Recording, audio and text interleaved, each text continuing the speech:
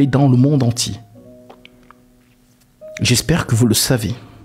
Si vraiment vous prenez votre salut au sérieux, examinez à quelle crise vous avez cru. Examinez si vous êtes vraiment dans le, le Jésus-Christ que les apôtres ont prêché. Examinez-le vraiment. Faites ce qu'on appelle l'examen de conscience. Est-ce que vous avez suivi le vrai Jésus? Est-ce que vous avez suivi le vrai? Alors, je vais replacer les choses et vous allez savoir si vous êtes dans la continuité des apôtres ou si vous êtes dans les choses des hommes. Les choses que les hommes ont mis en place, les choses que le Vatican a mis en place. Nous allons retracer cela. Alors, je vous invite à venir avec moi directement sur euh, le livre de Jean chapitre 17, verset 19.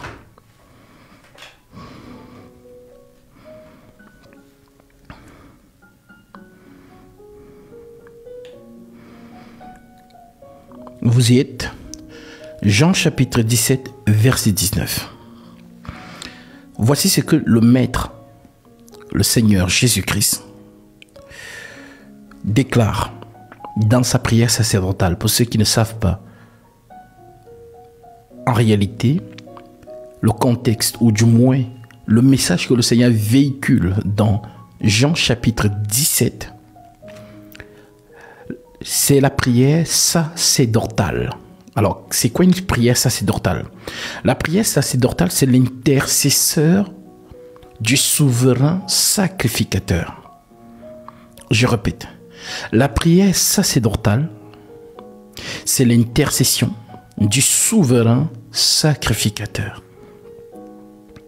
Nous savons que nous sommes dans un sacerdoce royal. nous sommes quittés du sacerdoce d'Aaron au sacerdoce de Melchisedec. Alors, avant de vous lire cette prière, vraiment, je prends du temps parce que lorsque je monte en live, je ne monte pas de moi-même. Je monte parce que le Seigneur a rendez-vous avec ses enfants. Moi, je ne suis qu'un tabernacle. Je ne suis qu'un vase par lequel l'ange de lumière parle. Alors c'est lui qui connaît qui est derrière l'écran, qui doit écouter quoi, qui doit découvrir quoi et qui doit s'examiner. Donc moi je ne vous connais pas. Je ne sais pas qui, qui m'écoute en ce moment. Mais ce qui va être dit par la suite, tu sauras si le Saint-Esprit avait rendez-vous avec toi. Alors, avant de lire Jean chapitre 17, je vais lire Hébreu 7 pour que vous sachiez c'est-à-dire la plénitude de cette prière. Nous sommes donc dans Hébreu chapitre 7.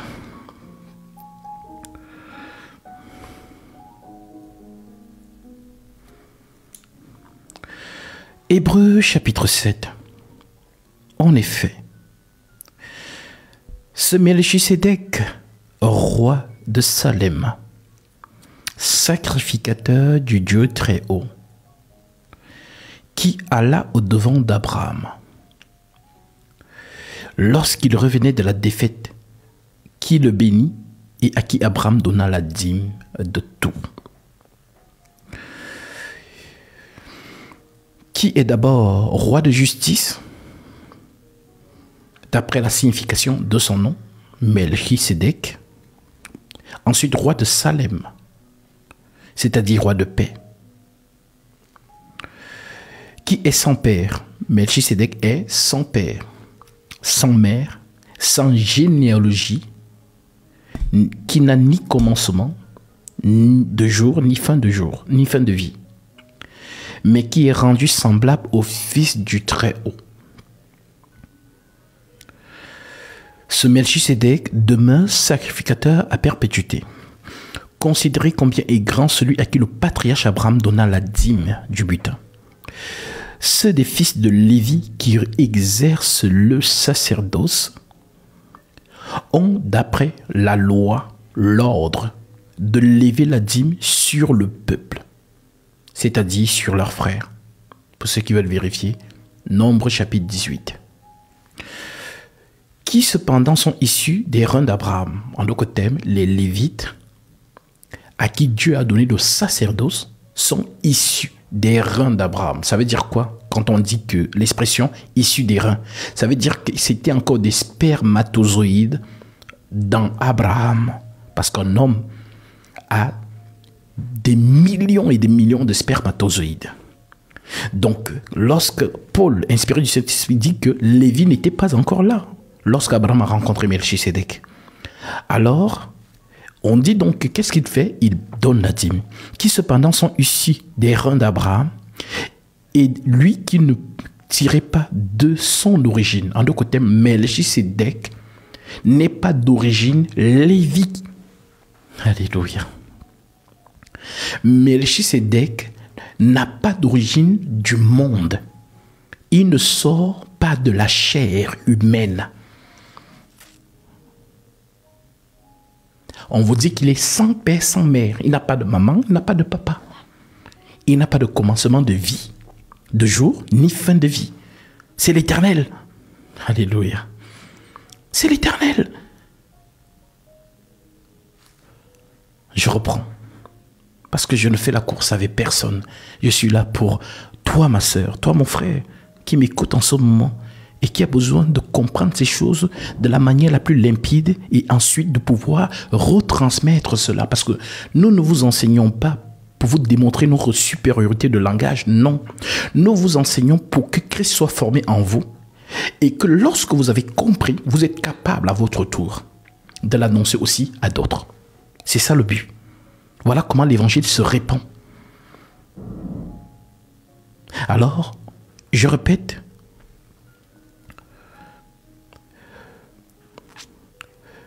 en effet, ce Melchisedec, roi de Salem, sacrificateur du Dieu très haut, qui alla au-devant d'Abraham lorsqu'il revenait de la défaite des rois, qui le bénit et qui, à qui Abraham donna la dîme de tout, qui est d'abord roi de justice, d'après la signification de son nom, ensuite roi de Salem, c'est-à-dire roi de paix, qui est sans père, sans père, sans mère, sans généalogie, qui n'a ni commencement de jour, ni fin de vie.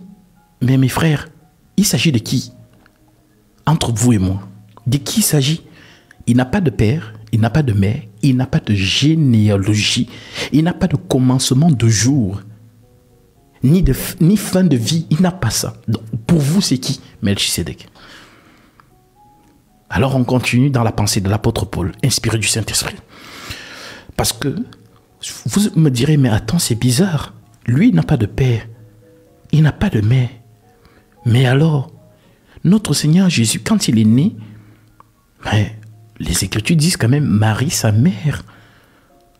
Je comprends plus rien. Si on dit que Melchisedec, c'est lui Jésus, comment on dit encore que Marie, c'est sa mère? Pourtant, on dit que Melchisedec n'a pas de mère, n'a pas de père, n'a pas de commencement de vie, ni fin de vie. Alors, comment comprendre que Jésus, c'est lui Melchisedec? Tu comprendras. Écoute ce que Paul te dit.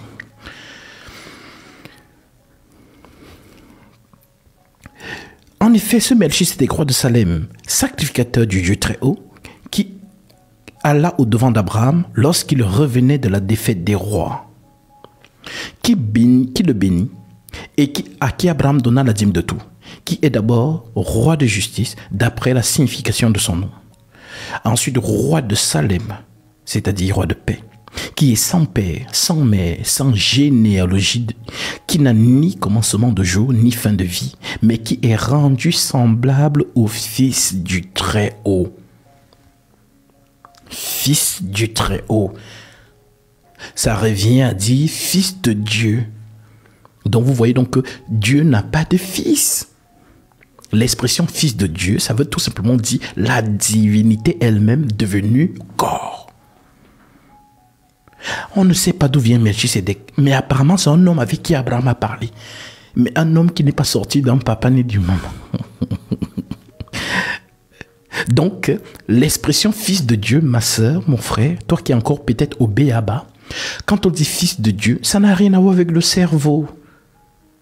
Ça n'a rien à voir avec ton fils que tu as à la maison là. J'ai ton fils a un papa, dont Jésus aussi un, papa qui est dans le ciel. Non. Ce sont des expressions spirituelles. Parce que l'apôtre Paul dit, inspiré du Saint-Esprit, nous employons un langage spirituel pour les choses spirituelles. Mais l'homme animal, en thème, toi et moi, l'homme animal ne comprend pas les choses de l'Esprit de Dieu. Car elles sont une folie pour lui. Il ne peut les comprendre parce que c'est spirituellement qu'on en juge. L'homme spirituel, au contraire, juge de tout et n'est lui-même jugé par personne. Car qui a connu la pensée du Seigneur pour l'instruire? Or, nous, nous avons la pensée de Christ. C'est ça en fait. Celui qui a la pensée de Christ, c'est lui le ministre. On ne force pas les choses de Dieu. On n'apprend pas les choses de Dieu. Non, c'est pas une école. On ne va pas en faculté faire la théologie ou quoi que ce soit pour connaître Dieu. Non. La divinité ne s'apprend pas.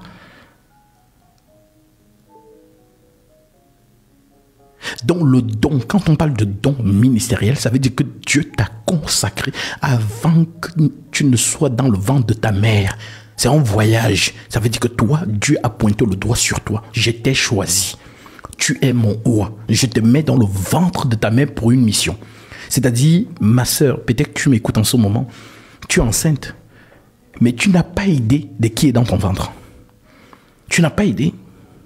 Tu ne sais pas qui c'est-à-dire Dieu dans sa préscience divine, lorsqu'il envoie un messager sur la terre des hommes, ce messager est consacré pas par l'homme, mais par la divinité elle-même. C'est un peu comme si tu envoies ton fils que tiens, je te donne la liste, tu vas aller faire les courses. Tu achètes ça, tu achètes ça, tu achètes ça, tu achètes ça, tu lui donnes l'argent il part, il part pour un but. Voilà comment Dieu fonctionne avec les oins. On ne s'improvise pas dans le ministère. Non. On n'apprend pas le ministère. Non. On ne fait pas de master 1, master 2 en théologie. Non. Ceux qui ont fait ça se sont improvisés dans les choses de Dieu. Lorsque vous voyez la manière dont Paul a été appelé dans la vocation, dans le ministère, ne voyez-vous pas que c'était mystique? Sur le chemin de Damas, le Seigneur lui apparaît et lui donne la recommandation. Paul ne s'est pas improvisé dans ces choses. Le Seigneur connaît ses soins parce qu'il nous a prédestinés dès avant la fondation du monde. Alors lorsqu'il prend son oin, il met dans une femme. C'est le voyage long voyage pour une mission précise. Le Seigneur a mis ton enfant, peut-être l'enfant que tu portes en ce moment, si tu m'écoutes, si tu es enceinte, peut-être l'enfant qui est en toi. C'est un messager du Christ. Quand j'étais dans le ventre de ma mère, il y avait des gens qui étaient chrétiens. Il y avait des gens qui, qui cherchaient Jésus. J'étais un bébé. J'ai grandi. Les gens étaient chrétiens avant moi. Je ne savais même pas encore ce qu'on appelle Jésus. Et si Dieu a prédestiné que toi, je t'envoie sur terre, lorsque tu auras 25 ans net, tu commences le ministère. Lorsque tu auras 30 ans net, tu commences. Ça veut dire quoi? Ça veut dire que cette personne, elle est venue sur Terre, il a grandi comme tous les enfants, ainsi de suite. Il est allé à l'école, il est maintenant au boulot, il fait sa vie. Il vit comme un païen.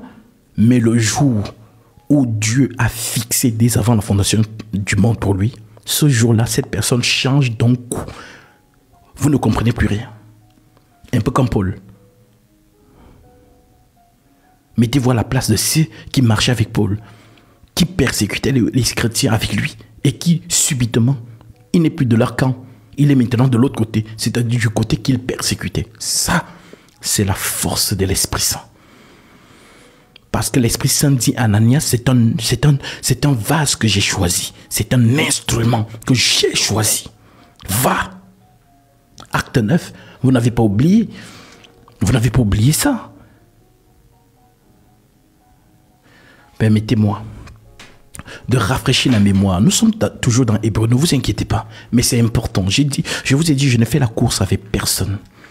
Je suis là vraiment pour les brebis du Seigneur qui veulent comprendre ces choses dans les dimensions les plus parfaites et célestes.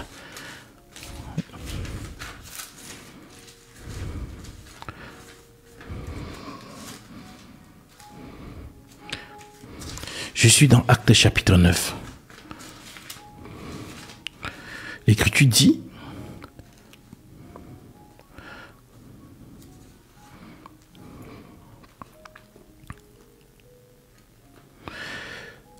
Je suis au verset 1, acte 9, verset 1. Cependant, Saoul, donc Paul, Saoul, respirant encore la menace et le meurtre contre les disciples du Seigneur, se rendit chez le souverain sacrificateur et lui demanda des lettres pour les synagogues de Damas afin que s'il trouvait des partisans de cette nouvelle doctrine, hommes ou femmes, il les amena à liés à Jérusalem. Comme il était en chemin et qu'il approchait de Damas, tout à coup, une lumière venant du ciel resplendit autour de lui. Il tomba par terre et il entendit une voix qui Saoul, Saoul, pourquoi me persécutes-tu?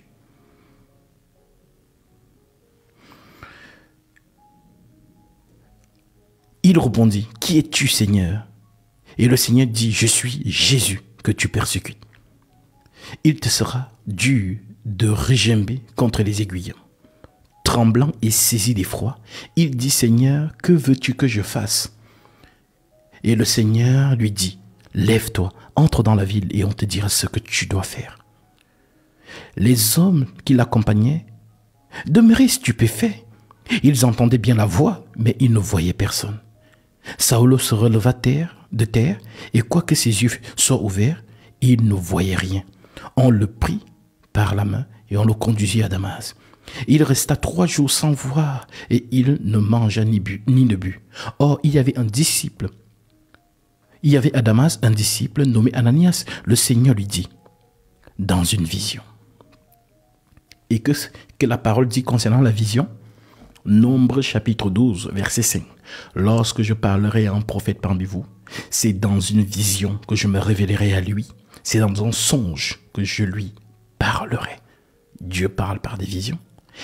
Dieu se révèle par des visions. Et Dieu parle par des songes. Alors, en l'occurrence, Ananias, qu'est-ce qu'il va vivre? Une vision. Or, il y avait à un disciple nommé, nommé Ananias. Le Seigneur lui dit dans une vision Ananias, il répondit, Me voici, Seigneur.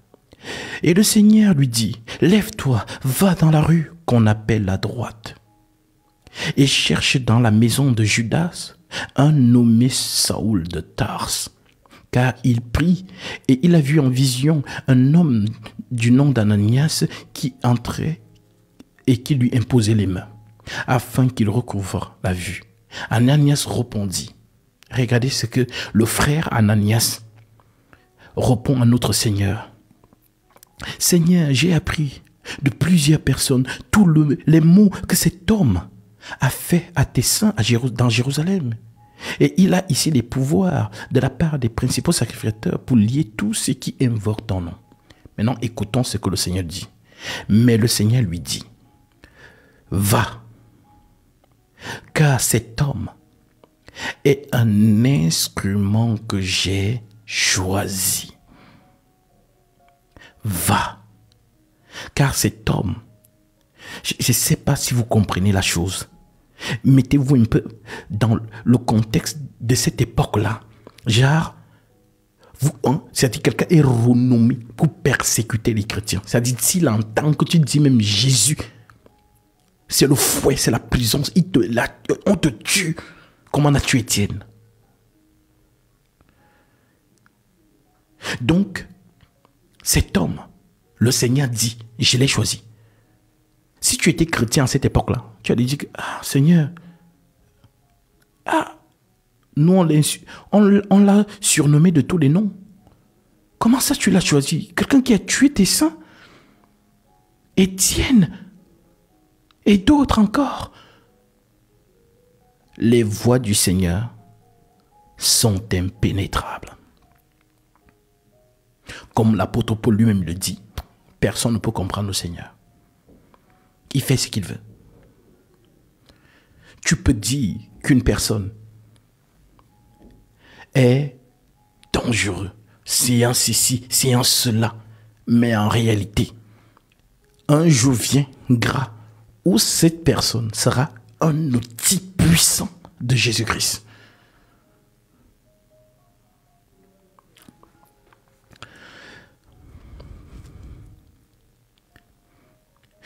Mais le Seigneur lui dit, verset 15, Va, car cet homme est un instrument que j'ai choisi pour porter mon nom devant les nations, devant les rois et devant Israël. Ah, mais Seigneur, regarde, il y a déjà beaucoup de chrétiens qui te suivent. Ils sont zélés pour toi, mais pourquoi tu ne choisis pas quelqu'un parmi ces chrétiens-là déjà? Pourquoi tu veux aller prendre quelqu'un qui, qui te persécute? Notre Seigneur Jésus, le vrai, ah. Oui, il y avait des frères qui se comportaient bien, que Jésus aurait pu choisir, notre Seigneur, il aurait pu choisir l'un de ses frères pour porter son nom devant les nations, devant les rois. Mais non. Pourquoi? Tout simplement parce qu'on ne devient pas enfant de Dieu sur la terre. Que Dieu te bénisse pour ton offrande. Tu as été touché par la parole et le Seigneur met dans ton cœur de faire cette offrande pour prendre ta bénédiction. Alors, conformément à la parole du Christ, que celui à qui l'on enseigne la parole fasse part de tous ses biens celui qui l'enseigne. Ne vous y trompez pas. On ne se mord pas de Dieu. Ce qu'on aura semé, le moissonnera aussi. Corrélé à Matthieu 10, l'ouvrier mérite sa nourriture. En entrant dans la maison, saluez-la. Si la maison est digne, que votre Père vienne sur elle. Et si la maison n'en est pas digne, que votre Père retourne avec vous. Tu en es digne. Car ce que tu as donné, je vais manger comme les trois hommes ont mangé chez Abraham et la bénédiction est entrée dans sa demeure. Alors que par cette offrande, le Seigneur t'accorde ce que ton cœur désire. Lui qui connaît tes prières et tes doléances et qui déverse en toi ses dons spirituels. Au nom de Jésus-Christ, mon frère ou ma sœur qui est derrière cette offrande soit abondamment béni. Je ne vois pas ton nom, mais je vois le, le message qui accompagne ton offrande. Shalom, cher Yannick. Merci beaucoup pour ce que tu nous partages aujourd'hui et c'est là que je ne vois plus la suite du message. En tout cas, ma soeur ou mon frère qui est derrière, soit abondamment béni. C'est la puissance de la vérité qui touche vos cœurs et qui vous amène à accomplir Galates chapitre 6, 6 à 7, corrélé à Matthieu chapitre 10. Que le Seigneur vraiment, qui est toujours fidèle et derrière sa parole pour l'accomplir, accomplisse sa parole dans ta vie. Alors, oui, le frère persécute les saints. Mais il y a des saints qui sont investis dans la marche. Mais Seigneur choisit un des saints. Pourquoi les choisir dans le camp de l'ennemi? Tout simplement. Parce qu'on ne devient pas enfant de Dieu sur la terre. Non. On l'est dès avant la fondation du monde. C'est dans le temps que ça va se manifester. Paul, c'est un enfant du ciel. Et le Seigneur a prophétisé sur lui, ne saviez-vous pas? Le Seigneur dit, viendra un temps où quiconque vous fera mourir croira rendre un culte à Dieu. Et oui, il a parlé en son temps aux apôtres, et c'est ce qu'ils ont vécu.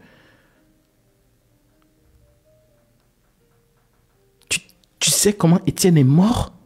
On l'a couvert de pierres. Tu vois les grosses pierres, là, on te lance ça. On te couvre de pierres. Parce que tu parles de Jésus. Ah, les chrétiens de cette époque, vous êtes trop à l'aise. Des saints ont perdu la vie pour cette vocation. Parce qu'ils ne vivaient plus pour eux-mêmes. Mais parce que cette écriture est vraie. Elle n'est pas un slogan. Ce n'est plus moi qui vis. C'est Christ qui vit en moi. Ce n'est pas un slogan. Tu ne peux pas être plus investi dans ton travail et facultatif dans les choses de Jésus. C'est pas possible. Revois-toi. Revois-toi.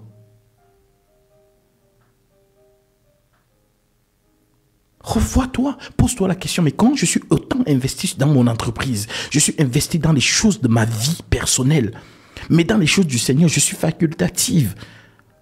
Revois-toi. Examine. Parce que lorsque le Père nous appelle dans cette vocation, il y a une écriture qui dit dans le livre des psaumes, le zèle de ta maison me dévore. Et le premier à manifester ce zèle, c'est lui-même. Les apôtres ont rendu ce témoignage. Il se souvint qu'il est écrit dans le livre des psaumes, le zèle de ta maison me dévore. Oui, la vocation se laisse la maison de Dieu. Alors, de la manière dont tu es zélé, tu es passionné, comme tu es, surtout les femmes, quand vous êtes amoureuse des hommes là, vous voyez comment vous êtes. C'est-à-dire que s'il ne t'a pas envoyé le message pendant 15 minutes, tu es déjà en train d'imaginer tout et n'importe quoi dans ta tête. Parce que tu l'aimes, parce que tu es zélé pour lui, parce que tu es passionné pour cet homme. Pareil pour les hommes qui tombent amoureux des femmes. Tu es tellement amoureuse d'elle que tu es toujours là en train de regarder ses photos. Voilà, même si tu ne fais rien, tu es là, tu regardes ses photos. Même si tu as regardé la photo là, tu regardes encore tout le temps. Pourtant, ça fait un mois que c'est dans ton téléphone, mais tu regardes toujours sa photo. Lorsqu'elle t'envoie un message, dès que tu entends cling, tu veux seulement que ce soit elle. Si c'est le, message de quelqu'un d'autre, c'est comme si ta journée, tu, tu, tu, bottes ça en touche, tu dis, ne m'écrivez plus. Parce que tu veux le message de celle que tu aimes. Parce que tu veux le message de celui que tu aimes. C'est donc ça qu'on appelle le zèle. C'est ce qu'on appelle la passion tu vis, cette personne vit en toi. Partout où tu es, tu penses à cette personne. Dès que tu fermes les yeux, c'est son visage que tu vois. Oh ma soeur, oh mon frère, si tu n'es pas à ce niveau avec Jésus, revois-toi. Revois-toi. Peut-être que tu es parmi ceux qui se disent Ah ben je crois en lui, on ne sait jamais. Comme ça, au moins, il ne pourra pas dire que je n'ai pas cru en lui. Parce qu'il y a des gens comme ça. Je dis que je n'y crois pas vraiment, mais on ne sait jamais. Je mets les garde-fous. Comme ça, je dirais que, mais Seigneur, j'ai été. Ah, souvenez-vous, le Seigneur a dit. Plusieurs me diront en ce jour-là, Seigneur, Seigneur, n'avons-nous pas prophétisé en ton nom? N'avons-nous pas fait des miracles en ton nom? N'avons-nous pas chassé les démons en ton nom? Et je leur dirai ouvertement, je ne vous ai jamais Retirez-vous de moi, vous qui commettez l'iniquité. Ne sois pas de cela, mon frère. Ne sois pas de cela, ma sœur. Sois amoureuse du Christ. Sois amoureux du Christ, mon frère. Car dans l'Église, nous sommes des vierges. L'apôtre Paul le dit, inspiré du Saint-Esprit. 2 Corinthiens 11, verset 1. Oh, si vous pouviez supporter de ma part un peu de folie, mais vous me supportez, car je suis jaloux de vous d'une jalousie de Dieu, parce que je vous ai fiancé à un seul époux pour vous présenter à Christ comme une vierge pure. Oui, l'Église est constituée des vierges. C'est la vierge qu'on présentera au Christ. Alors tu ne peux pas me dire que tu es l'une de ces vierges et que tu n'es pas amoureuse du Christ. Non.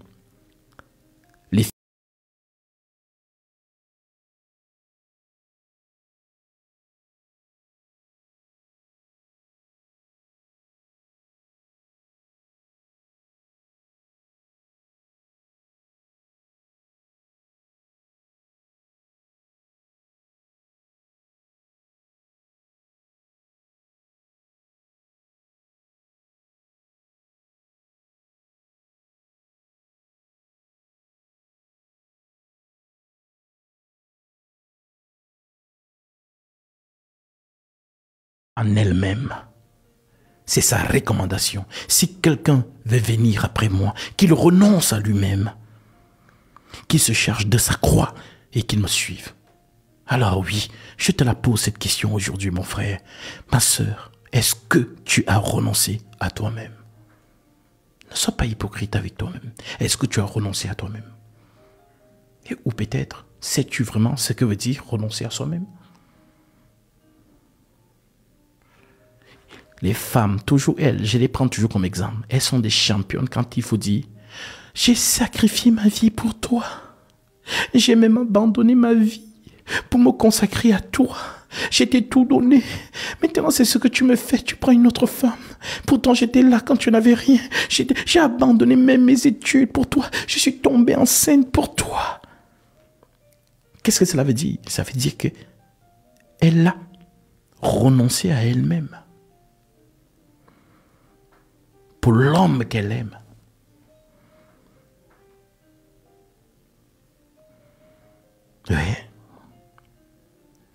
Ça se passe dans votre quotidien de chaque jour. Alors, sache que parmi les prétendants, il y a Frédéric, il y a Eric, il y a Thierry, il y a Mamadou, il y a aussi Jésus-Christ. C'est un prétendant. C'est ce qu'il a dit à la femme samaritaine. Va appeler ton mari. Elle a dit, je n'ai point de mari. Et le Seigneur lui dit, tu as eu raison de dire tu n'as pas de mari. Tu as eu cinq maris. Et celui avec lequel tu es actuellement n'est pas ton mari. Donc, avec qui elle parlait? Le septième. Le prétendant qui vient lui dire, hum, si tu bois cette eau, tu auras encore soif. Mais l'eau que je te donnerai deviendra en toi une source qui jaillira jusque dans la vie éternelle. Tu n'auras plus jamais soif. Alors la femme dit, Oh, donne-moi de cette eau, afin que je ne vienne plus puiser ici.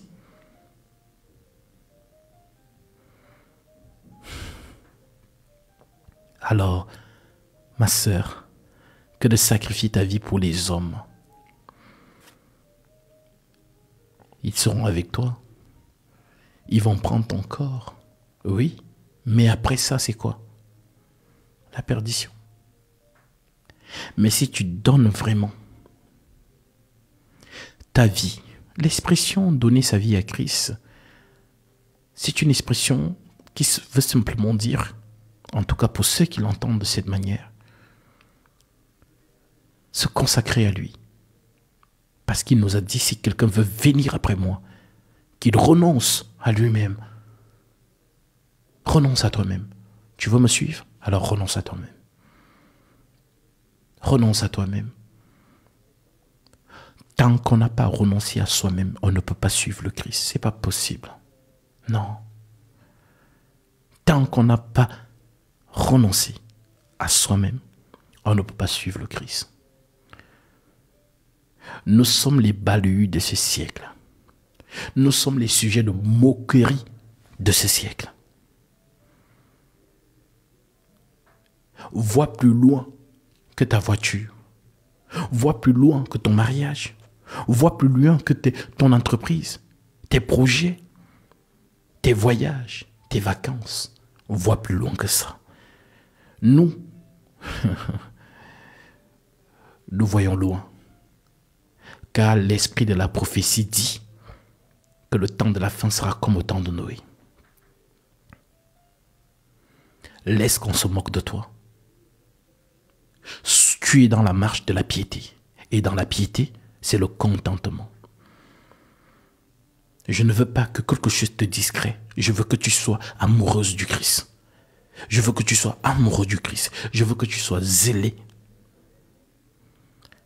Et du zèle pour le Seigneur. Si tu ne l'as pas, prie, car on obtient tout dans la prière. C'est un Dieu qui ne manque point. Il a dit, invoque-moi. Je te répondrai. Je t'annoncerai des grandes choses, des choses cachées que tu ne connais pas. Lorsque tu pries, mets cela devant. Mets-lui devant sa propre parole. Seigneur, tu avais dit, invoque-moi, je te répondrai.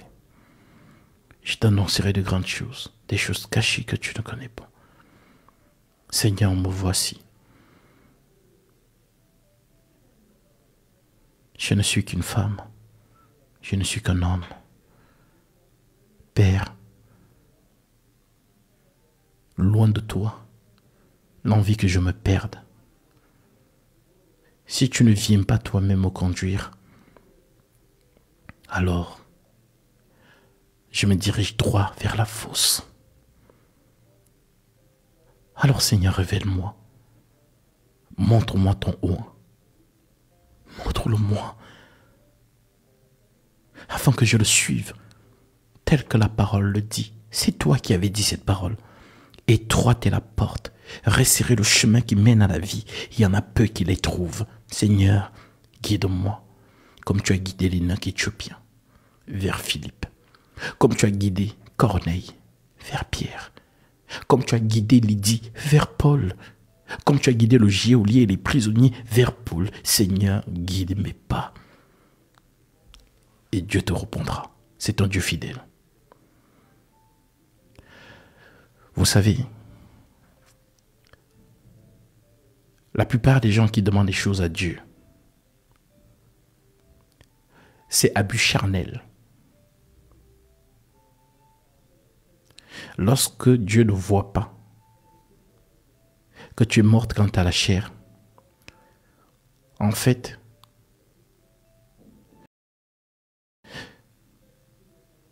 tu n'es pas intéressante, tu n'es pas intéressant. L'océan a besoin des guerriers et des guerrières, car la bataille est rude, on discute des âmes. Le camp de l'ennemi est zélé pour perdre les âmes. Mais toi, que fais-tu? Car il y a deux camps. Ne le sais-tu pas? Il y a deux camps. Il y a le camp de Michael. Il y a le camp du dragon. Je te pose la question. Tu es derrière qui? Tu es derrière qui? Tu es derrière qui? Moi, je suis derrière Michael.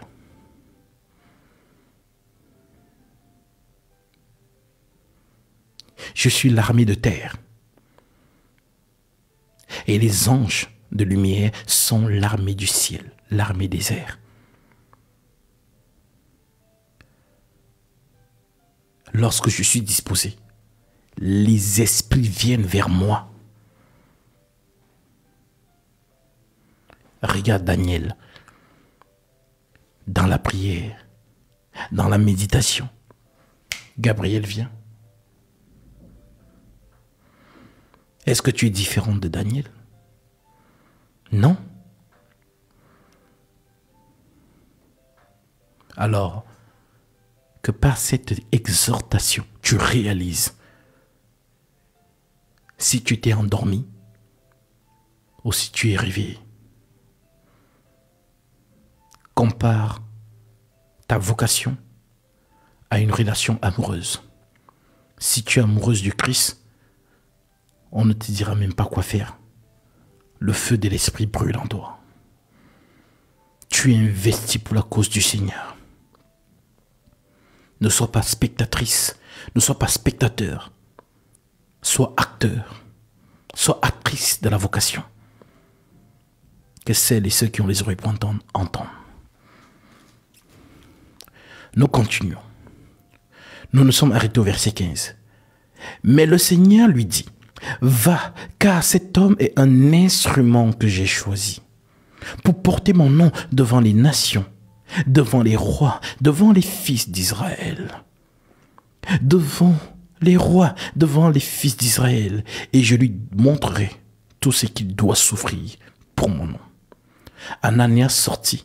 Lorsqu'il fut arrivé dans la maison il imposa les mains à Saoul en disant Saoul, mon frère, le Seigneur Jésus qui t'est apparu sur le chemin par lequel tu venais m'a envoyé pour que tu recouvres la vue et que tu sois rempli du Saint-Esprit.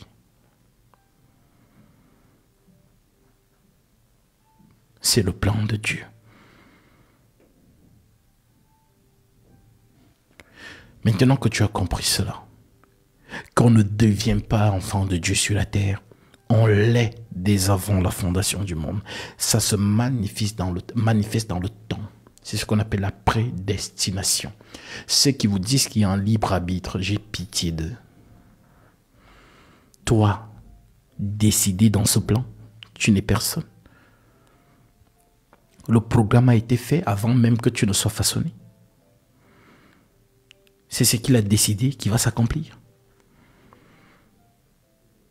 Voilà pourquoi l'Écriture dit, ceux qu'il a connus d'avance, il les a aussi prédestinés. Romains 8. Je vais lire cela avant de retourner dans le livre d'Hébreu où nous sommes.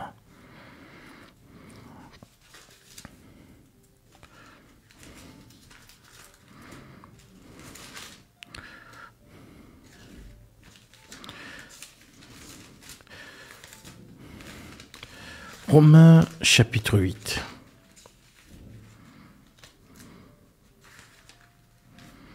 L'Écriture déclare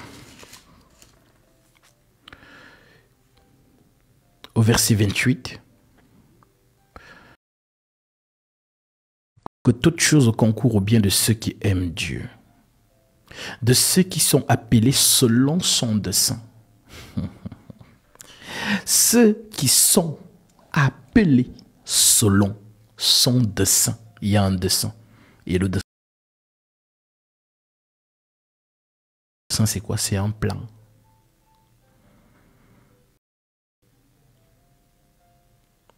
Je te donne un exemple factuel. Esaou, Jacob. Le Seigneur avait décidé avant même qu'il ne sorte du ventre. Et ce que le Seigneur a dit, c'est c'est accompli.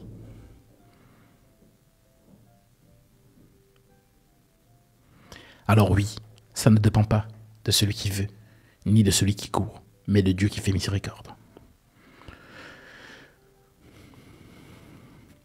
Nous savons du reste que toute chose concourt bien de ceux qui aiment Dieu, de ceux qui sont appelés selon son dessein, car ceux qu'il a connus d'avance, il les a aussi prédestinés. Ceux qu'il a prédestinés, il a aussi prédestiné à être semblable à l'image du Fils, afin que son fils soit le premier-né d'entre plusieurs frères. Et ce qu'il a prédestiné, il les a aussi appelés. Et ce qu'il a appelés, il les a aussi justifiés. Et ce qu'il a justifié, il les a aussi glorifiés. Que dirons-nous donc à l'égard de ces choses Si Dieu est pour nous, qui sera contre nous? Lui qui n'a point épargné son propre fils, mais qui l'a livré pour nous tous. Comment ne donnerait-il pas toutes choses avec lui? Qui accusera les élus de Dieu? C'est Dieu qui est justifié, qui les condamnera. Christ est mort bien plus. Il est ressuscité. Il est assis à, la droite de Dieu et il intercède pour nous. Qui nous séparera de l'amour de Christ? Serait-ce la tribulation? La, Ou la faim? Ou la nudité? Ou le péril? Ou l'épée? Selon qu'il est écrit, c'est à cause de toi qu'on nous met à mort tous les jours. Quand on nous regarde comme des brebis destinées à la boucherie, mais dans toutes ces choses, nous ne sommes plus que vainqueurs par celui qui nous a aimés. Car j'ai l'assurance que ni la mort, ni la vie, ni les anges, ni les dominations, ni les choses présentes, ni les choses à venir, ni les puissances, ni les hauteurs, ni les profondeurs, ni aucune autre créature ne pourrait nous séparer de l'amour de Dieu manifesté en Jésus-Christ notre Seigneur. Nous sommes dans la prédestination. Et ce que Dieu a prédestiné pour ton Seigneur Jésus-Christ, sa vie a été mise sur papier.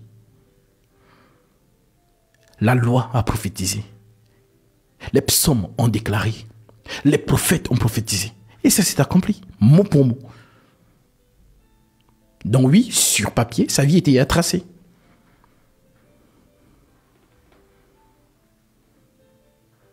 Alors oui, on ne devient pas enfant de Dieu sur la terre. On l'est dès avant la fondation du monde. Maintenant que tu as compris cela, nous revenons dans Hébreu chapitre 7.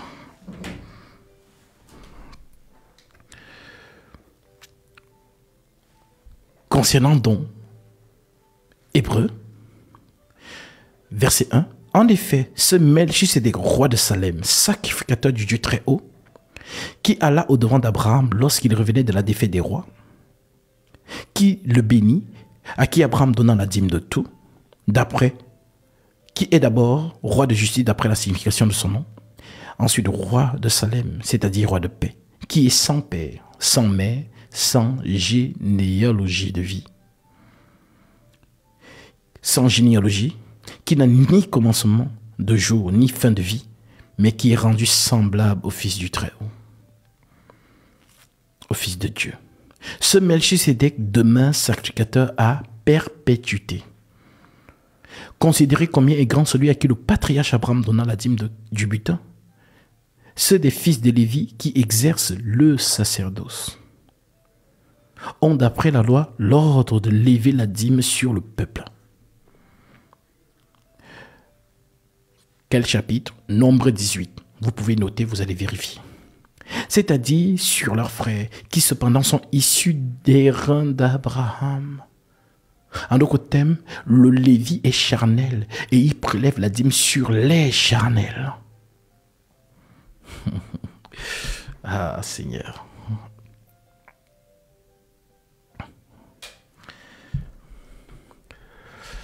Que Dieu te bénisse, mon frère Wilfried, pour ton offrande. Tu as été touché par la parole. Pose dans ton cœur de faire cette offrande pour prendre ta bénédiction. Alors, conformément à sa parole, que celui à qui l'on enseigne, la parole fasse part de tous ses biens, celui qui l'enseigne. Ne vous y trompez pas, ne sommes pas de Dieu, ce que homme aura séminé, il le moissonnera aussi. Courez à Matthieu 10, le Seigneur déclare l'ouvrier mérite sa nourriture. En entrant dans la maison, salut-la. Si la maison elle est digne, que votre Père vienne sur elle. Et si la maison n'en est pas digne, que votre Père retourne avec vous. Tu en es digne, car ce que tu as donné, je vais manger. Comme les trois hommes ont mangé chez Abraham, et la bénédiction est entrée dans sa demeure. Alors que par cette offrande, le Seigneur t'accorde ce que ton cœur désire, lui qui connaît tes priorités de l'alliance et qui déverse en toi ses dons spirituels. Au nom de Jésus-Christ, mon frère, sois abondamment béni. Shalom. Nous continuons. Au verset 5. Ceux des fils de Lévi, ceux des fils de Lévi, qui exercent le sacerdoce, ont d'après la loi l'ordre de lever la dîme sur le peuple, c'est-à-dire sur leurs frères, qui cependant sont issus des reins d'Abraham. Et lui, dont Melchisedec, qui ne tirait pas de son origine, il leva la dîme sur Abraham. Et il le bénit et bénit celui qui avait les promesses. Or, c'est sans contredit l'inférieur qui est béni par le supérieur. Et ici, ceux qui perçoivent la dîme sont, sont des hommes mortels. Mais là, c'est celui dont il est attesté qu'il est vivant. À chaque fois que vous allez voir cette expression dans les Écritures, il est vivant. Ou le bouc vivant. Sachez qu'on parle de l'éternité. De plus, Lévi qui perçoit la dîme l'a payé pour ainsi dire par Abraham. Alléluia. De plus, Lévi qui perçoit la dîme l'a payé pour ainsi dire par Abraham. En d'autres termes, ce n'est pas Abraham qui paye la dîme, mais c'est Lévi qui la paye par lui. Pourquoi part? Parce que Lévi n'est pas encore là. Il est dans les reins de son père. Alors Paul dit, de plus, Lévi qui perçoit la dîme l'a payé pour ainsi dire par Abraham, car il était encore dans les reins de son père lorsque Melchisedec alla au-devant d'Abraham. Verset 11. Si donc la perfection avait été possible par le sacerdoce lévitique, car c'est sur ce sacerdoce que repose la loi donnée au peuple. Qu'est-il encore besoin qu'il parût un autre sacrificateur selon l'ordre de Melchisedec et non selon l'ordre d'Aaron? Car le sacerdoce étant changé, Alléluia. Car le sacerdoce étant changé, nécessairement aussi il y a un changement de loi. Je ne comprends pas. Le sacerdoce étant changé, nécessairement, aussi, il y a un changement de loi. Ça veut dire quoi? On passe de la loi lévitique à la loi de Christ. Alléluia. Mais Gatsby, nous ne sommes plus dans la loi. C'est parce que tu ne comprends pas ce qu'on appelle loi. En fait, la loi, c'est la science. Tu veux un verset qui le prouve? Bah, Je te le donne. Malachie chapitre 2, verset 7 que je vais lire pour toi.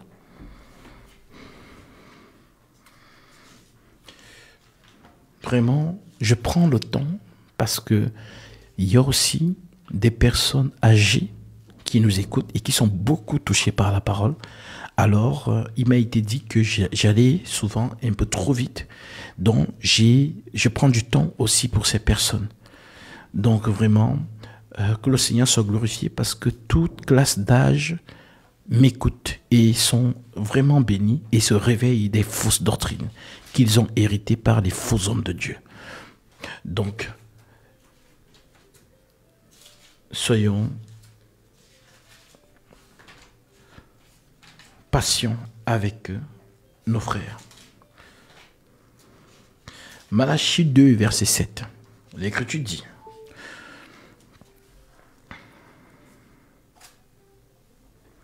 Je cite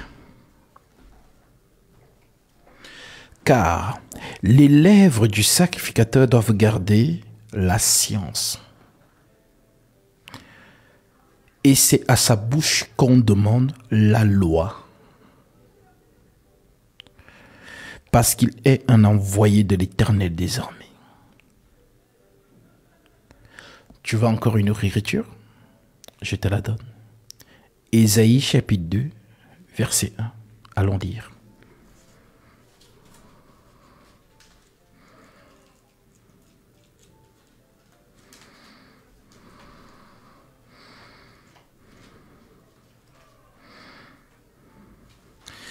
Ésaïe 2.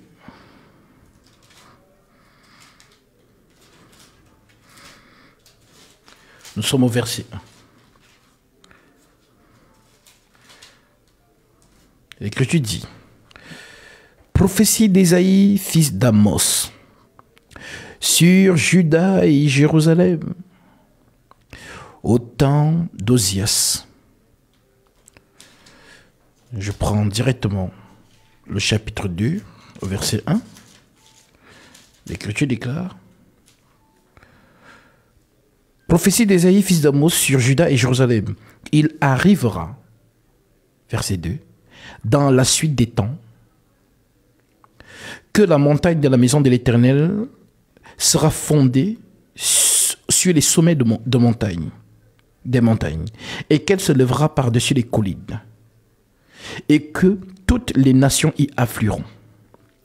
Des peuples s'y rendront en foule et diront, venez, montons à la montagne de l'Éternel, à la maison du Dieu de Jacob afin qu'il nous enseigne ses voies et que nous marchions dans ses sentiers. Car de Sion sortira la loi.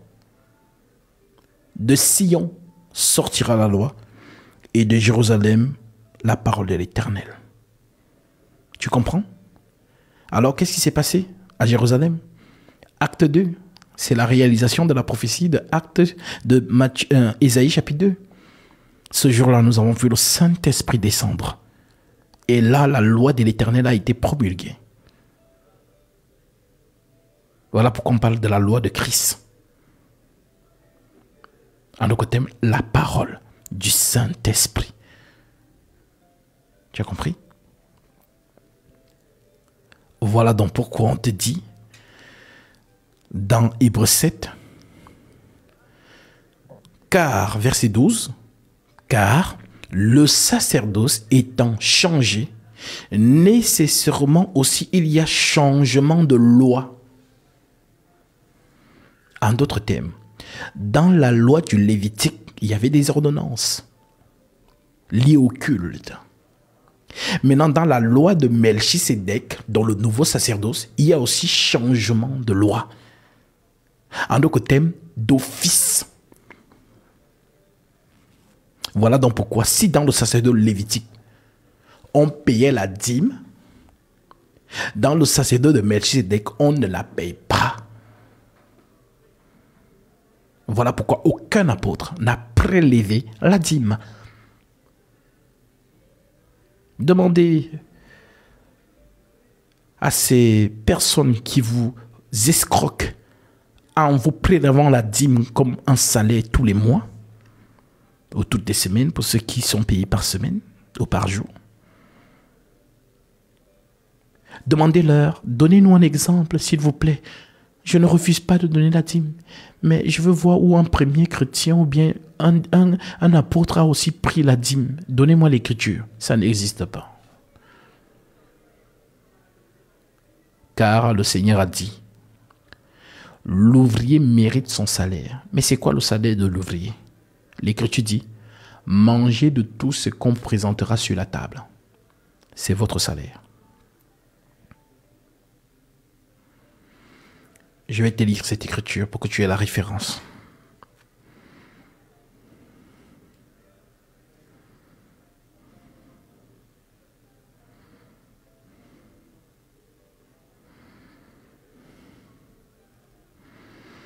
Luc chapitre 10, verset 7. Demeurez dans cette maison dont Jésus parle aux à ses envoyés qui annoncent le royaume des cieux, dont les ministres. Demeurez dans cette maison, là, mangez et buvant ce qu'on vous donnera, car l'ouvrier mérite son salaire. N'allez pas de maison à maison. Est-ce que vous comprenez? Donc, si j'arrive quelque part, j'annonce la parole, et que tu me donnes une chemise, je te bénis. Car le Seigneur a dit, lorsque vous entrez dans une maison, saluez-la. Si la maison est digne, que votre paix vienne sur elle. Si la maison n'en est pas digne, que votre paix retourne avec vous. Je vous donne ma paix, je vous laisse ma paix. Je ne vous la donne pas comme le monde vous la donne. L'homme de Dieu a la paix du Christ. Et c'est par ça qu'il mange, car le Seigneur a ordonné à ceux qui annoncent l'évangile de vivre de l'évangile. 1 Corinthiens chapitre 9. Ce sont les versets que vous devez aussi aimer. Hein. Vous devez beaucoup aimer aussi ces versets. Je vais lire ça. Donc quand on dit on aime Jésus, on applique tout ce qu'il nous a donné comme recommandation. 1 Corinthiens chapitre 9. Le Seigneur dit ceci.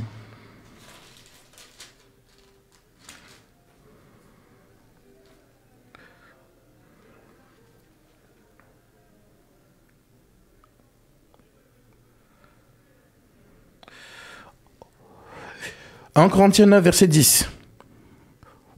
Ou parle-t-il uniquement à cause de nous? Oui, c'est à cause de nous qu'il a été écrit que celui qui laboure doit labourer avec espérance, et celui qui foule le grain doit fouler avec l'espérance d'y avoir part. Si nous avons sémé parmi vous des biens spirituels, est-ce une grosse affaire si nous moissonnons vos biens temporels? Si d'autres jouissent de ce droit sur vous, n'est-ce pas plutôt en nous d'en jouir? Mais nous n'avons pas usé de ce droit. Au contraire, nous souffrons tout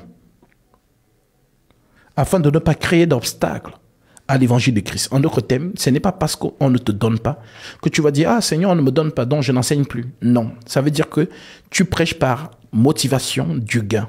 C'est ce qu'on appelle prêcher par le ventre, pour le ventre. Romains chapitre 16, verset 17. Nous ne prêchons pas pour le ventre. Nous ne annonçons pas Christ pour le ventre. Nous annonçons Christ pour sauver les âmes, car nous sommes ouvriers avec Jésus. Donc si j'annonce la parole et qu'on ne me donne pas, je continue l'œuvre avec zèle. Le Seigneur suscitera un corbeau qui me donnera, comme il l'a fait avec Élie. Et le corbeau prendra sa bénédiction. Donc, euh, il faut, ce sont des choses qu'on doit vous dire à vous, les, les, enfants de Dieu. C'est là où le Seigneur a déposé les choses dont vous avez besoin dans cette vie. Parce que l'Écriture dit, le Seigneur sait de quoi vous avez besoin. Matthieu chapitre 6, c'est écrit. Donc il a mis un schéma en place pour que ces choses viennent à vous. C'est ce que Paul vous dit là. Ne savez-vous pas que ceux qui remplissent des fonctions sacrées sont nourris par le temple? Maintenant, je pose la question. C'est qui le temple aujourd'hui?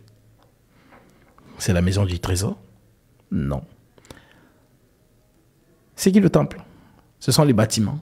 Non. Alors, le Saint-Esprit vient sur qui? Sur les saints. Vous êtes le temple du Saint-Esprit, n'est-ce pas? Alors, si c'est toi le temple, alors écoute. Le Seigneur, ne savez-vous pas que ceux qui remplissent des fonctions sacrées, ce que je fais, je remplis une fonction sacrée, sont nourris par le temple? Que ceux qui servent à l'autel ont part à l'autel? De même aussi, le Seigneur a ordonné. Mon frère, ma soeur, c'est un ordre. Si tu aimes le Seigneur, tu mets cela en pratique. Car il dit, celui qui m'aime garde mes commandements. Car le Seigneur a ordonné à ceux qui annoncent l'évangile, le vrai. Le Seigneur a ordonné à ceux qui annoncent l'évangile de vivre de l'évangile. C'est l'ordre du Seigneur.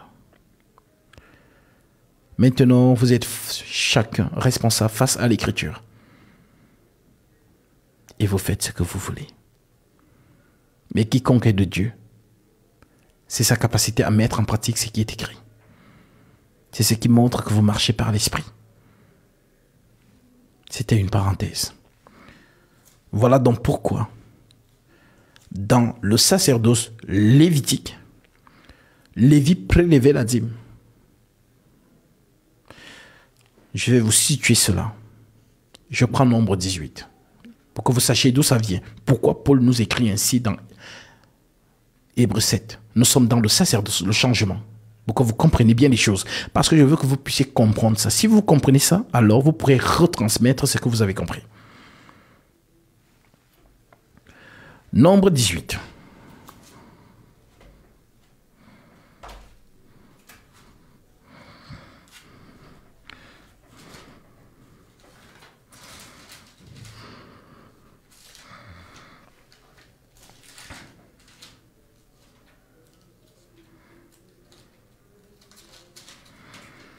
Tu dis au verset 18,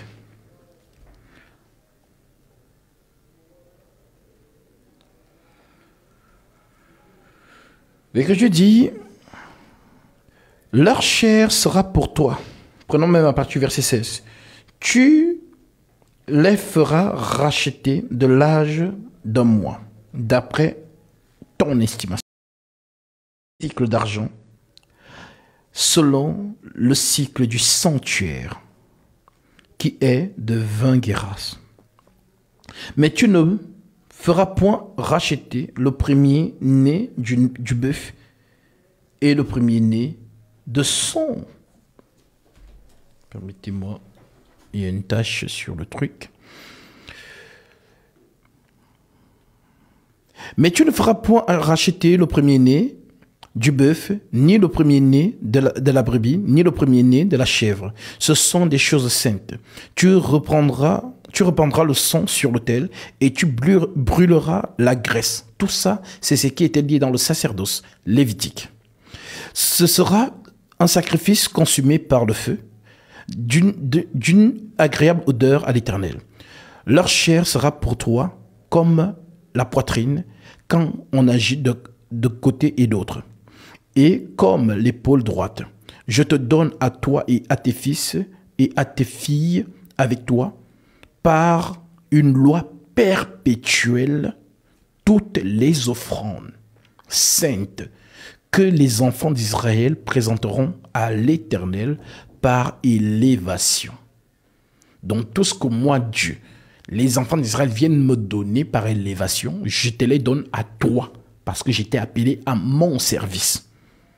Donc c'est ce que Paul répète dans Hébreu 7. Maintenant, il continue en disant, verset 20, L'Éternel dit à Aaron, tu ne posséderas rien dans leur pays. Écoutez très bien. Tu ne posséderas rien dans leur pays. Et il n'y aura point de part pour toi au milieu d'eux. C'est moi qui suis ta part, dont la part d'Aaron et des Lévis, c'est Dieu. Voilà pourquoi il ne doit rien posséder en Israël. C'est moi qui suis ta part et ta possession au milieu des enfants d'Israël. Je donne comme possession aux fils de Lévi toute dîme. Alléluia. En Israël, pour le service qu'ils font, le service de la tente d'assignation, c'est ce que Paul reprend dans 1 Corinthiens chapitre 9 que nous venons de lire. Vous voyez d'où sortent ces choses. C'est ce qu'il dit dans, son, dans, sa, euh, euh, dans ce qu'il nous, il nous prêche dans 1 Corinthiens chapitre 9. Il a tiré ça d'ici.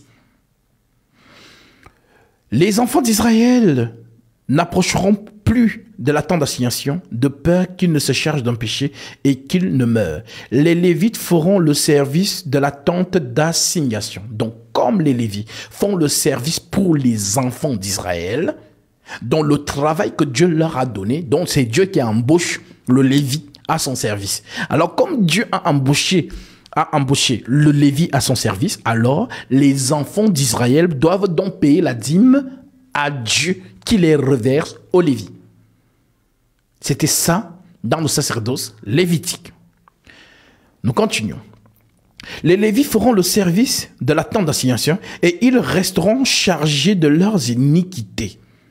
Ils n'auront point de possession au milieu des enfants d'Israël, et ce sera une loi perpétuelle parmi vos descendants. Je donne comme possession aux Lévites les dîmes que les enfants d'Israël présenteront à l'Éternel par élévation. C'est pourquoi je dis à leur égard, ils n'auront point de possession au milieu des enfants d'Israël. L'Éternel parla à Moïse et dit, tu parleras aux Lévites et tu leur diras, lorsque vous recevrez des enfants d'Israël la dîme que je vous donne de leur part. Alléluia. C'est précis, hein? Voilà. Donc, l'Éternel parla à Moïse et dit, tu parleras aux, Lévites et tu leur diras, lorsque vous recevrez des enfants d'Israël la dîme que je vous donne de leur part, comme votre possession, vous en prélèverez une offrande pour l'Éternel, une dîme de la dîme. Et votre offrande vous sera comptée comme le blé qu'on prélève de l'air et comme de le mou qu'on prélève de la cuve. C'est ainsi que vous prélèverez une offrande pour l'Éternel sur toutes les dîmes que vous recevrez des enfants d'Israël et, vous donnerez au sacrificateur Aaron l'offrande que vous en aurez prélevé. Donc, l'Éternel, c'est à lui qu'on doit donner la dîme de la dîme, mais qu'est-ce que lui fait? Il les reverse à qui? À Aaron. Donc, tout ce qu'on donnait à, à l'Éternel comme étant prémisse, c'est Aaron qui prenait tout et tous ceux qui lui ont succédé dans cet exercice. Notamment Zacharie, le père de Jean-Baptiste, qui n'était pas un pauvre. Car imaginez-vous, toute l'assemblée d'Israël donne les choses à Dieu et Dieu redonne ça à son sacrificateur qu'il a choisi. Donc Jean-Baptiste était d'une famille très riche. Mais qu'est-ce qu'il a fait? Il n'a pas regardé ces choses, il allait vivre au désert.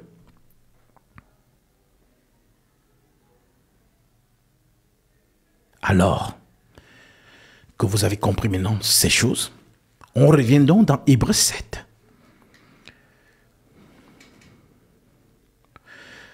Car, verset 12, Hébreu 7, verset 12, car le sacerdoce étant changé, nécessairement aussi il y a changement de loi.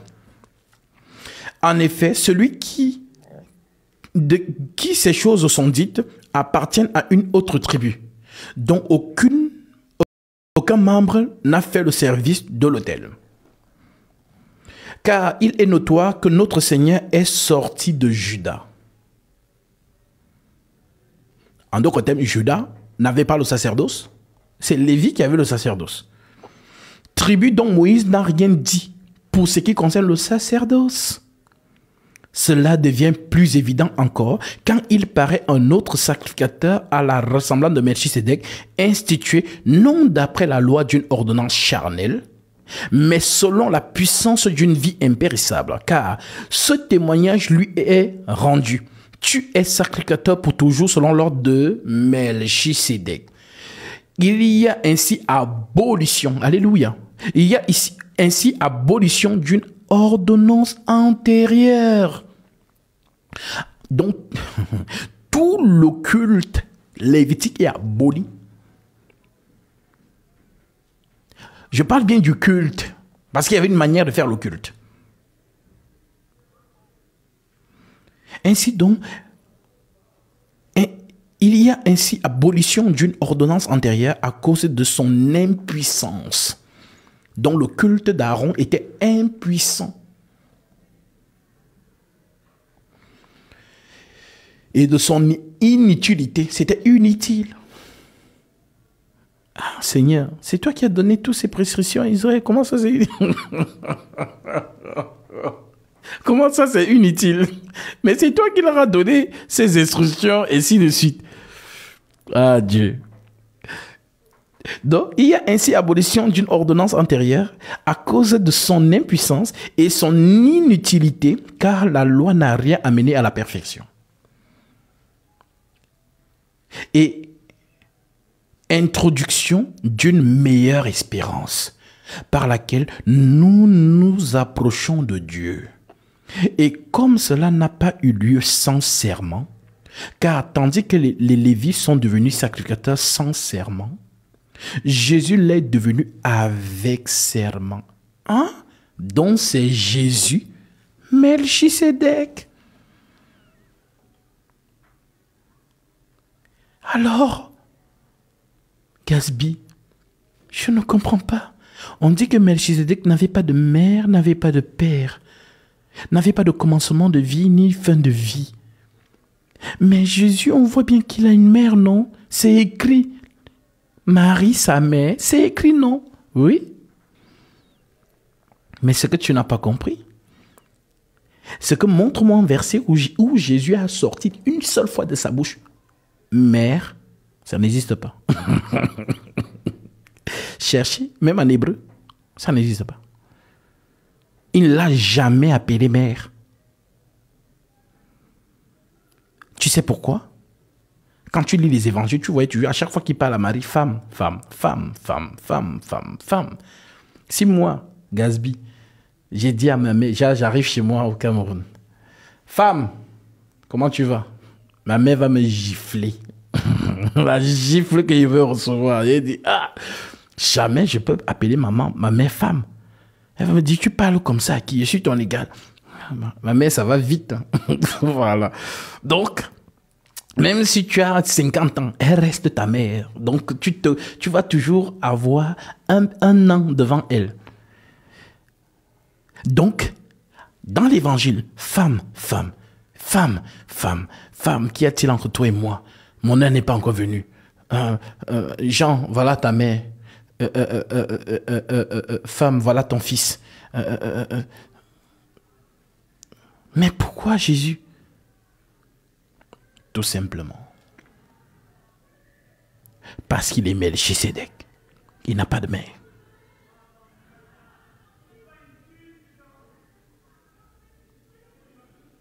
Il n'a pas de mère. La relation qu'il avait avec Marie, c'était quoi? Épouse.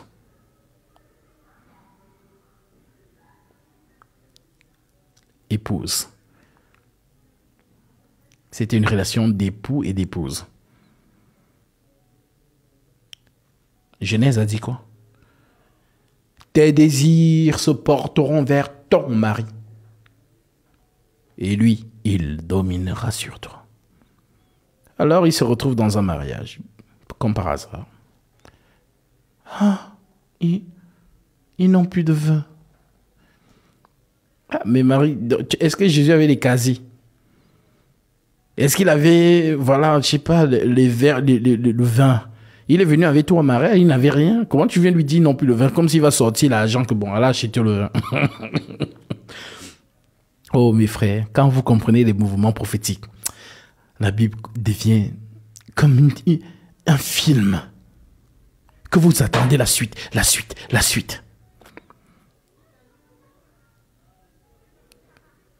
Donc, lorsque Marie va lui dire, ils n'ont plus de vin, Ce qui doit t'intéresser, c'est la réponse de Jésus. Femme, qu'y a-t-il entre toi et moi? Mon heure n'est pas encore venue.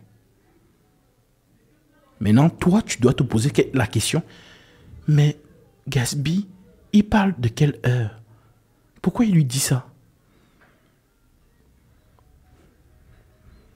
Mon heure n'est pas encore venue. En d'autres termes, il n'a pas encore traversé le chemin. Lorsqu'il va traverser le chemin et qu'il va donc s'asseoir sur le trône, alors demande ce que tu veux. Tu as compris? En d'autres termes, Marie représente l'Église, l'épouse. Jésus représente l'époux. Voilà pourquoi il dit à l'Église, tout ce que vous demanderez en mon nom, croyez que vous l'avez reçu, vous le verrez s'accomplir. En d'autres termes, lorsqu'il dit donc à l'Église, mon heure n'est pas encore venue, en d'autres termes, pour l'instant, ne me demandez rien. Ne me demandez pas. ne me demandez pas, puisque je n'ai pas encore traversé le chemin. Le chemin est toujours fermé. Vous me demandez quoi? Le chemin est fermé. Dieu est encore fâché. ne pensez pas que Dieu est fâché. Il y a eu péché. Donc tant que le chemin est fermé, ne me demandez rien. Quand je vais ouvrir le chemin, à ce moment-là, je m'assois sur le trône. Je te donne l'écriture. Parce que c'est Paul qui t'a prêché ce que tu es en train de te prêcher là. Je reprends Romains, euh, euh, Hébreu chapitre 9. C'est merveilleux. Que Dieu bénisse l'apôtre Paul là où il est en ce moment. Parce qu'il a prêché des choses que vraiment...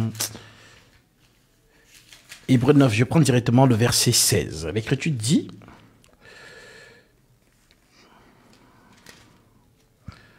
L'Écriture dit, verset, prenons le verset 18. Euh, L'Écriture dit, voilà pourquoi c'est avec du sang que même la première alliance fut inaugurée. Donc la première alliance, c'est laquelle? Le sacerdoce lévitique.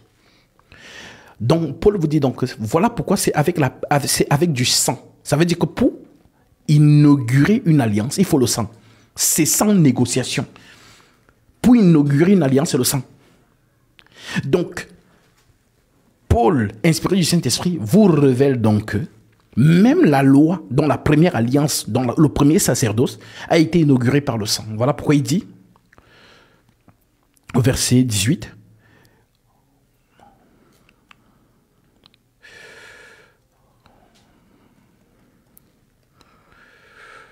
Voilà pourquoi c'est avec du sang que même la première alliance fut inaugurée. Moïse, dont le Jésus de la loi s'appelle Moïse.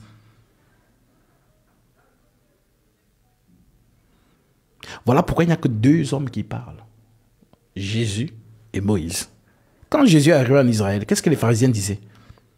Moïse nous a dit. Moïse nous a dit. Moïse nous a dit. On n'a pas dit non. Moïse, Moïse, Moïse, Moïse, Moïse, Moïse, Moïse. Voilà pourquoi Jésus dit, Moïse vous a dit, mais moi, je vous dis. En autre terme, j'annule Moïse. Il a fait ça plusieurs fois. Je prends un exemple. La loi dit, si une femme commet l'adultère, on la lapide. Lévitique 20, verset 10, c'est écrit. Les pharisiens viennent donc le piéger. Seigneur, nous avons attrapé cette femme en flagrant délit d'adultère. Moïse nous a dit de lapider de telles femmes. Et toi, que dis-tu?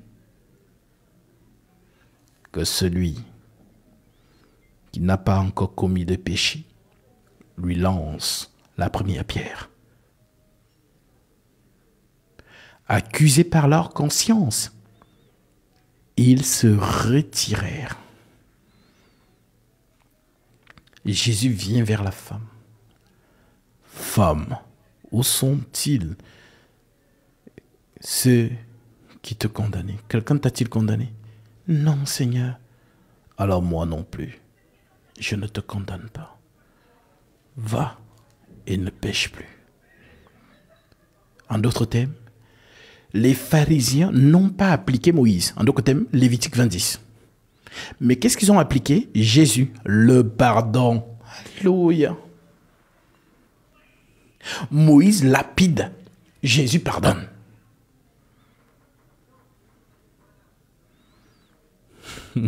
Pourquoi? Parce que le doigt qui a écrit la loi, c'est le doigt de Dieu. Le même doigt qui a écrit la loi peut abolir la loi et réécrire une autre. D'où la loi de Moïse, la loi de Jésus. Tu comprends mieux? Voilà pourquoi ce, cet instant-là, quand on lui a dit ça, il s'est abaissé par terre et il a écrit au sol. Je préfère qu'on mette cela en écrit pour que celles et ceux qui m'écoutent, ce soit encore plus fluide pour vous. Donc je prends Jean chapitre 8 pour illustrer cela avec ce qui est écrit et non pas paraphrasé.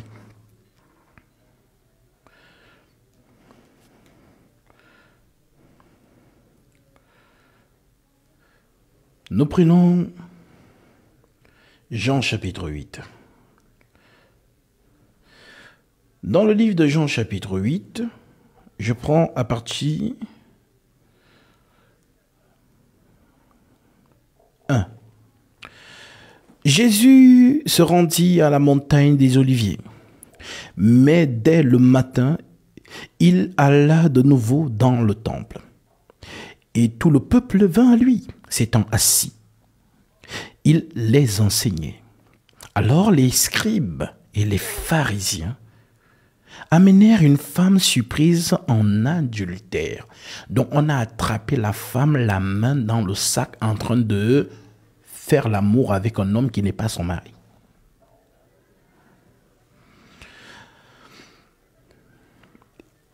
Et la plaçant au milieu du peuple, ils dirent à Jésus, Maître. Donc, à chaque fois que vous allez voir les pharisiens appeler Jésus Maître, sachez qu'il y a un piège derrière. Ils, un, ils ne l'ont pas reconnu comme maître, comme étant euh, un, docteur.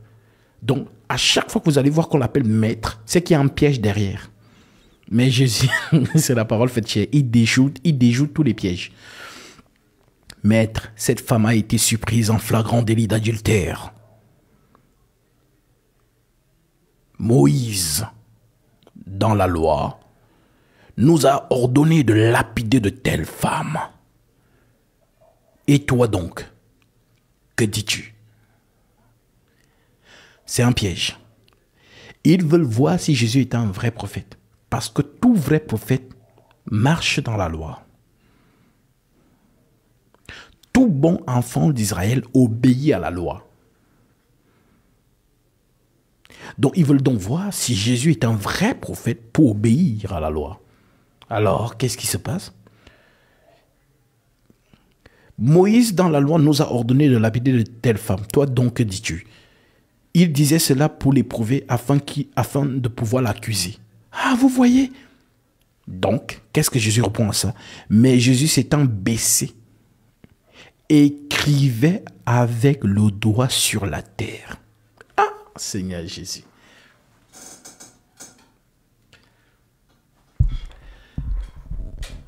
Il prend son doigt, il s'abaisse au sol et il écrit par terre. Demande-moi, Gatsby, il a écrit quoi? Le doigt qui a écrit les, les tables de la loi, c'est le même doigt qui vient écrit par terre. En d'autres termes, il écrit une autre écriture la loi condamne, la grâce pardonne. Voilà donc pourquoi cette femme n'a pas été tuée selon Lévitique 20, Elle a été pardonnée. Donc tu comprends les deux lois. La loi du sacerdoce lévitique et la loi de Melchisedec. Voilà donc pourquoi on te dit que le sacerdoce d'Aaron n'a rien à mener à la perfection. C'était inutile. Car dans cette loi, personne n'était pardonné. Mais dans le vrai sacerdoce, Il y a maintenant pardon. Alors continuons. Nous sommes toujours dans Hébreu 7. Nous nous sommes arrêtés au verset 18. Ainsi, il y a abolition d'une ordonnance antérieure à cause de son impuissance et de son inutilité. Car la loi n'a rien amené à la perfection et introduction d'une meilleure espérance par laquelle nous nous approchons de Dieu. Et comme cela n'a pas eu son, serment, car tandis que les Lévites sont devenus sacrificateurs sans serment, Jésus l'est devenu avec serment par celui qui lui a dit, le Seigneur a juré, et il ne se repentira pas. Tu es sacrificateur pour toujours, selon l'ordre de Melchisedec. Jésus est par cela même le garant d'une alliance plus excellente de plus, il y a eu des sacrificateurs en grand nombre.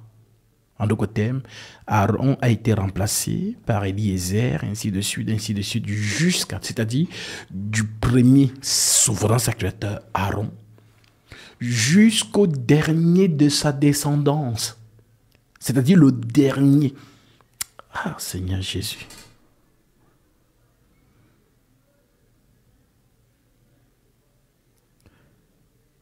Je vous explique quelque chose. Dans ce sacerdoce, il y avait une robe qui avait été confectionnée. Et cette robe a été faite une seule fois. Donc tout ce qui remplaçait Aaron dans ce service, on enlève la robe. On la remet à un autre. Est-ce que je peux vous présenter ça avec l'écriture? Lisons. On revient dans Hébreu.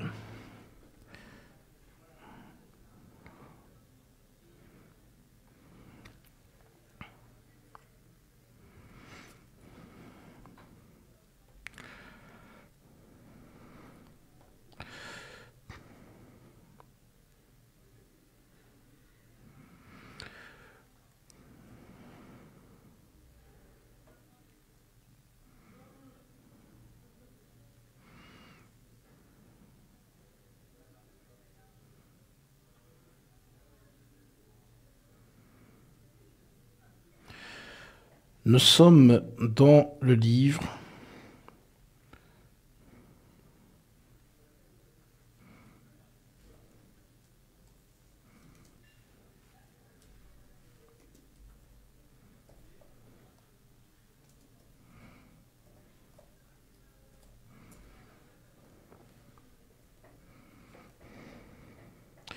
de nombre 20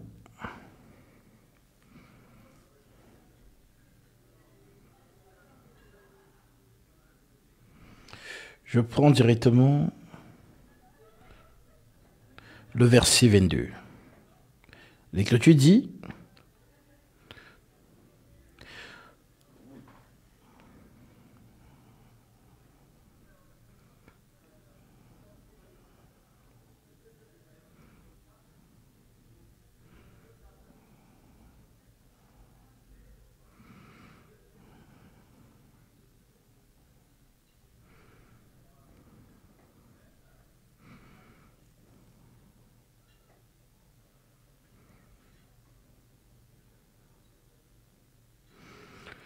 L'Écriture dit Toute l'assemblée des enfants d'Israël partit à Kadès et arriva à la montagne de Hor. L'Éternel dit à Moïse et Aaron vers la montagne de Hor sur la frontière du pays des Dômes.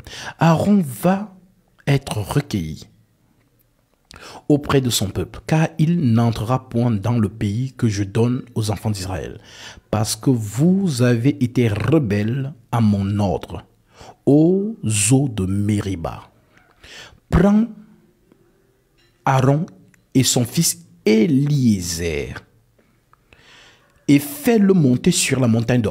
Dépouille Aaron. Dieu. Alléluia. non, ce Dieu-là, il est merveilleux. Dépouille Aaron. En d'autres termes, on l'enlève les habits.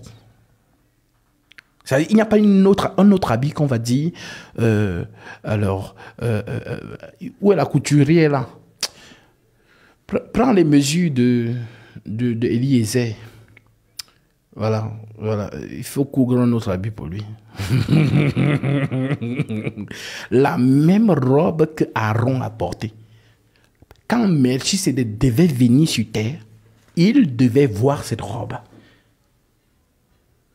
En d'autres termes, c'est le dernier descendant d'Aaron dans le service qui doit déchirer cette robe pour que Melchisedec entre en scène. En d'autres termes, transmission de sacerdoce.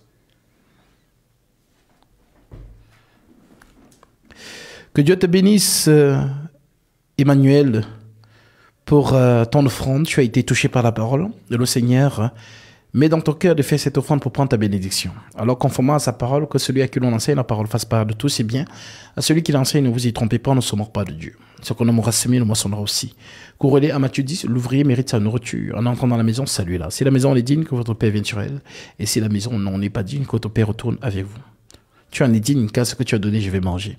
Comme les trois hommes ont mangé chez Abraham, et la bénédiction est entrée dans sa demeure. Alors que par cette offrande, le Seigneur t'accorde ce que ton cœur désire. Lui qui connaît tes prières et tes doléances, et qui déverse en toi ses dons spirituels. Au nom de Jésus-Christ, mon frère, sois abondamment béni. Shalom. Alors, oui.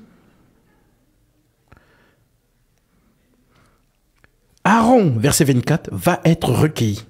Après auprès de son peuple, car il n'entrera point dans le pays que je donne aux enfants d'Israël, parce que vous avez été rebelles à mon, ordre, aux eaux de Mériba.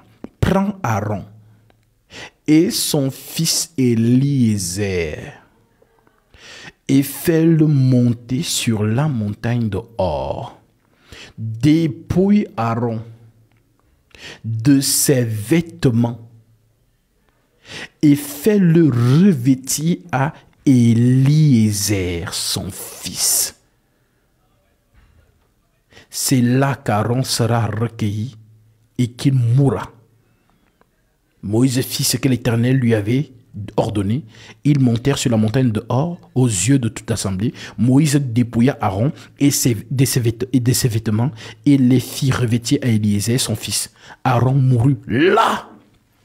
En dès que Moïse enlève tout, il meurt. Alors, euh, c'était quoi comme vêtement? Nous sommes toujours dans les Écritures. Allons chercher Lévitique chapitre 16. Lévitique 16, je prends directement le verset 1. On va voir c'est quoi, c'était quoi ces vêtements. L'Éternel parla à Moïse après la mort des deux fils d'Aaron qui moururent en sa présence, en se présentant devant l'Éternel. L'Éternel dit à Moïse, parle aux enfants, à ton frère Aaron, afin qu'il n'entre pas en tout temps dans le sanctuaire au-dedans du voile, devant le propitiatoire qui est sur l'arche, de peur qu'il ne meure, car j'apparaîtrai dans la nuit sur le propitiatoire. Voici de quelle manière Aaron entra dans le sanctuaire. Il prendra un jeune taureau pour le sacrifice d'expiation et un bélier pour l'holocauste. Il se revêtira de la tunique sacrée. Retenez bien ça. Il se revêtira de la tunique sacrée de lin et portera sur son corps des caleçons de lin. Il se cingera d'une tiare de lin et il couvrira la tête d'une tiare de lin. Ce sont des vêtements sacrés dont il se revêtira après avoir lavé son corps dans l'eau. En d'autres termes, ces vêtements représentent quoi en fait? L'Esprit de Dieu. Tu ne peux pas officier si tu ne portes pas ça. Donc ces vêtements représentent quoi en fait? L'Esprit de Dieu. Donc Aaron habillé ainsi est habillé de Dieu. Donc lorsque Dieu quitte, il meurt. Le Fils reporte la même chose. Alors, qu'est-ce qu'on dit donc de ce vêtement-là? Je pense que c'est toujours dans Lévitique chapitre 10, verset 21. Je vais vous trouver ça. Lévitique 10, l'écriture dit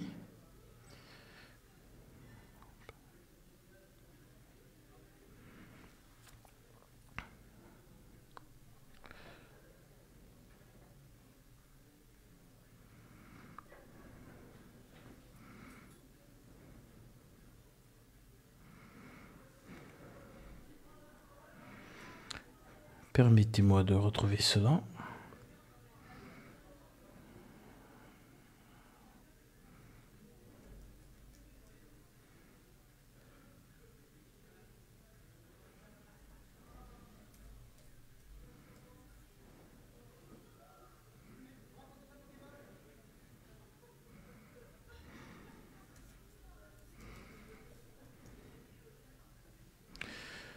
Lévitique 21, verset 10.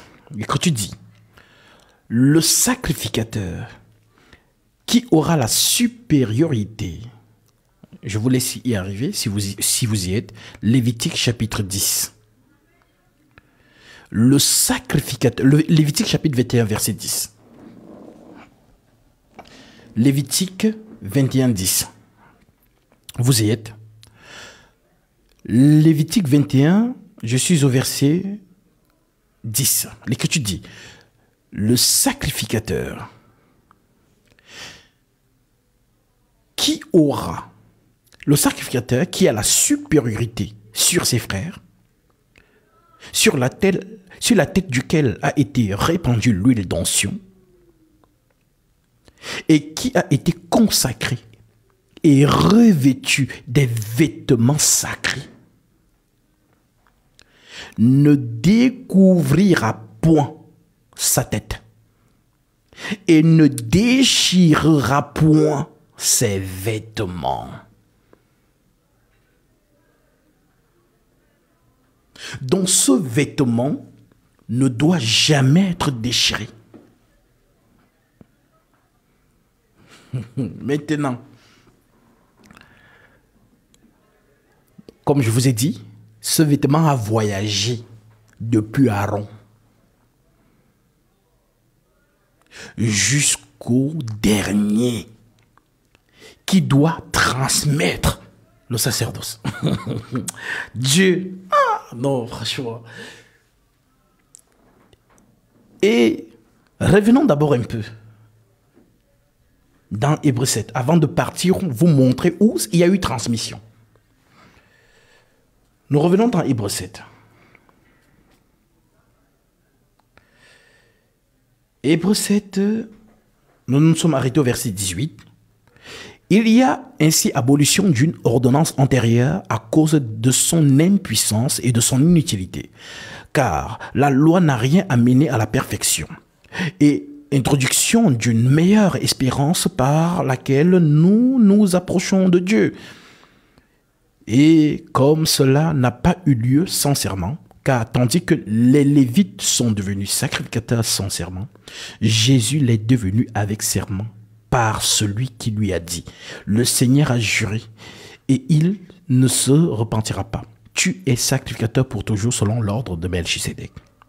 Jésus est par cela même le garant d'une alliance plus excellente. De plus, il y a eu des sacrificateurs en grand nombre, donc depuis Aaron jusqu'au dernier.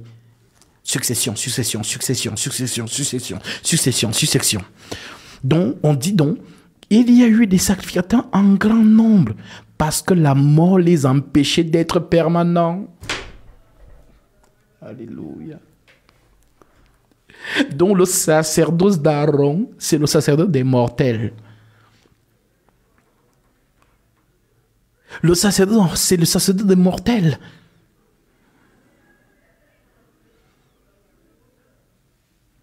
Parce que la mort les empêche de continuer à vivre le sacerdoce. Maintenant, écoute ce que Paul te prêche. Les choses compliquées. C'est aussi pour cela. C'est-à-dire, verset 22, Jésus est par cela même le garant d'une alliance plus excellente. De plus, il y a eu des sacrificateurs en grand nombre, parce que la mort les empêchait d'être permanents. Permanents. On parle de permanence. Permanent. Mais lui, parce qu'il demeure éternellement, qui demeure éternellement Mais lui qui Jésus. Mais lui, parce qu'il demeure éternellement, possède un sacerdoce qui n'est pas transmissible.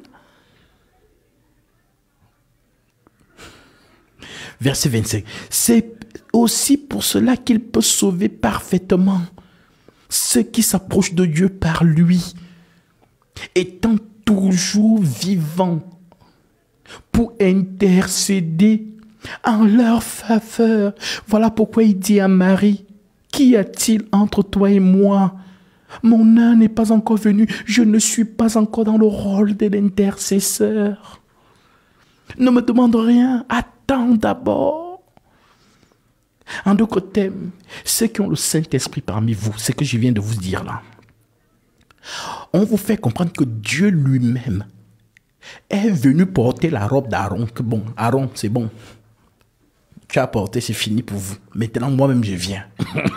Parce que le seul éternel, c'est Dieu. Je ne sais pas si vous réalisez, je ne sais pas si vous comprenez. En d'autres termes, Dieu lui-même fait l'expiation et il est l'intercesseur éternel. Il est en même temps sacrifice, il est en même temps souverain sacrificateur. Est-ce que tu comprends cela? Oh, ma soeur, mon frère, bénis le Seigneur d'être tombé sur moi. Les choses que tu ne comprenais pas avant, quand tu ouvres la Bible là, tu t'ennuies. Elle va commencer à devenir série Netflix pour toi. C'est-à-dire quand tu ouvres, tu veux tellement lire, lire, lire, parce que tu commences à comprendre. C'est un chemin qui s'ouvre. Parce que lorsque le prédicateur est mauvais, un faux prédicateur, tu t'ennuies, tu dors.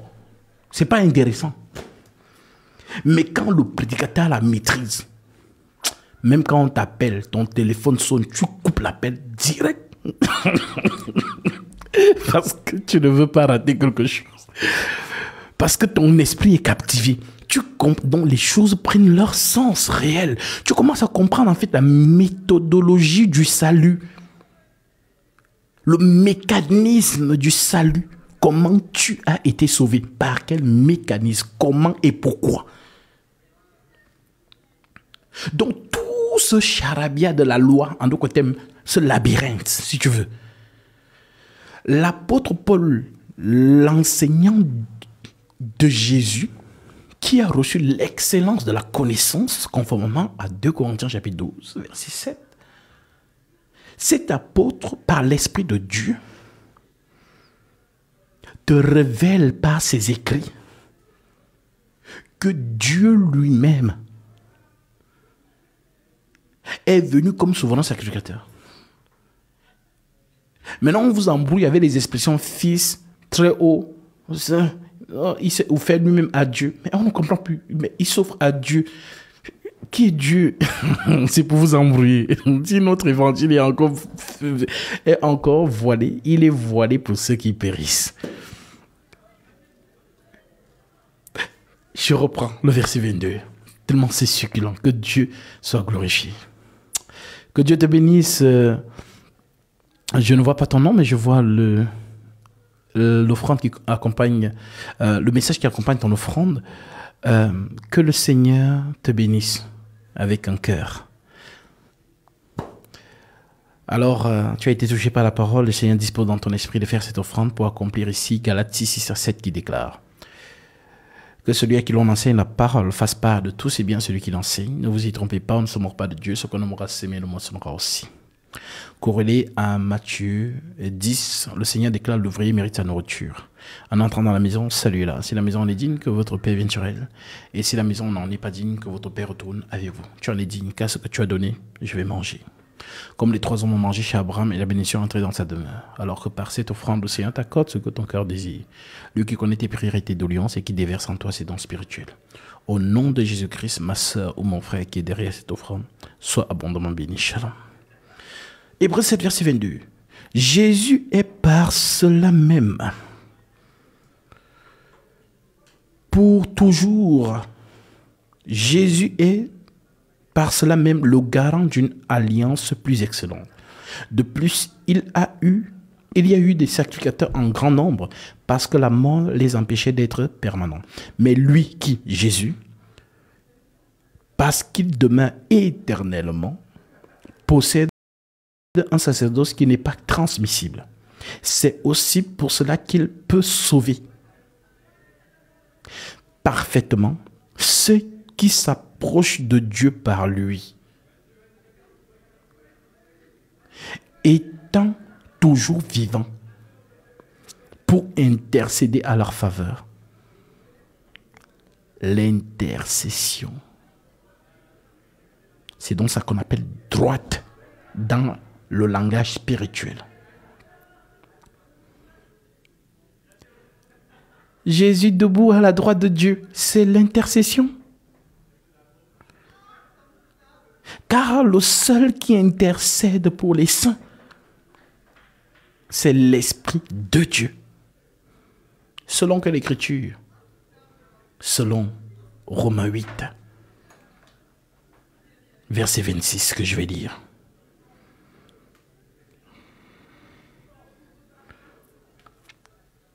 Et que je dis, au verset 26, de même aussi, l'Esprit nous aide dans notre faiblesse, car nous ne savons pas ce qu'il convient de demander dans nos prières. Mais l'Esprit lui-même intercède mais l'Esprit, c'est écrit comment Esprit chez toi là-bas? Mais l'Esprit lui-même intercède par des soupirs inexprimables. Et celui qui sonde les cœurs connaît quelle est la pensée de l'Esprit.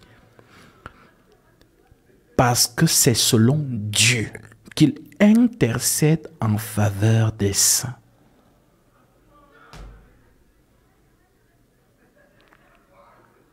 En d'autres termes, Dieu n'écoute que la prière de Dieu. Dieu n'écoute pas ta prière, mais il écoute sa prière à lui. Tout ce que vous demanderez à mon nom, croyez que vous l'avez reçu, vous devrez s'accomplir. Dieu, je m'appelle Vanessa. Je suis venu te voir parce que Dieu ne t'écoute pas. Au nom de Jésus-Christ, je me présente devant toi, Père, conformément à ta recommandation. C'est la clé. À ce moment-là, si Vanessa a le Saint-Esprit, ma soeur, c'est mystique. Net quand tu as prononcé ça, l'esprit prend le relais. Nous ne vous enseignons pas des choses imaginaires.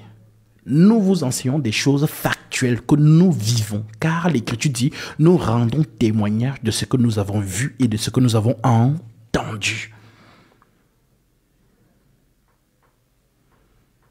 Moi, quand je prie, à un moment donné, ma chair se suspend. Dieu lui-même prend le relais de la prière. C'est mystique. Et là, comme Paul écrit, il intercède par des soupirs inexprimables. Ce sont des phénomènes Si quelqu'un met la caméra, on te voit dans ces moments-là, on peut croire que tu es possédé. Ben oui, tu l'es. Parce qu'il y a un autre esprit qui est là. Le Créateur. Qui prie avec toi. Parce que Dieu n'écoute que Dieu. Voilà donc pourquoi, pour devenir un adorateur ou une adoratrice en esprit et en vérité, il faut que tu aies l'esprit du Père. Voilà donc pourquoi Jésus dit à la femme samaritaine, Femme, crois-moi, ça ne sera ni sur cette montagne, ni à Jérusalem que vous adorerez le Père. Vous adorez ce que vous ne connaissez pas. Nous, nous adorons ce que nous connaissons, car le salut vient des Juifs. Mais l'heure vient, et elle est déjà venue, les vrais adorateurs adoreront le Père en esprit et en vérité. Ce sont des tels adorateurs que le Père cherche.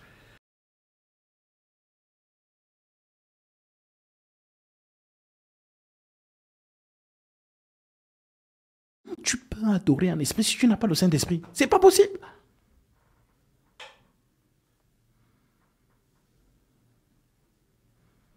Alors si tu n'as pas le Saint-Esprit, prie, demande,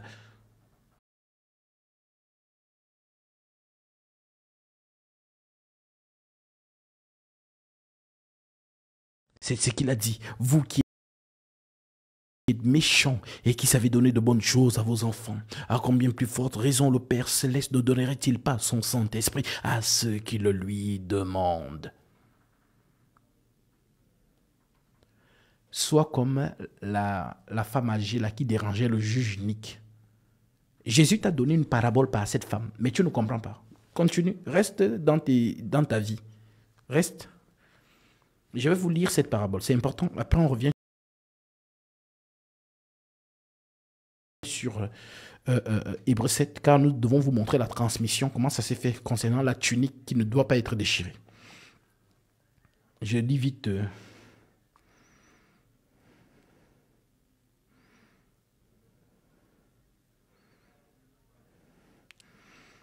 Nous sommes dans Luc 18. Je lis très vite.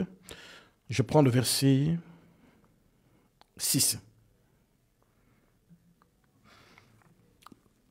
Le Seigneur ajouta, Entendez ce que dit le juge inique. Et Dieu, je prends, euh, bon, prenons la partie verset 1. Luc, et Luc 18, verset 1. Jésus,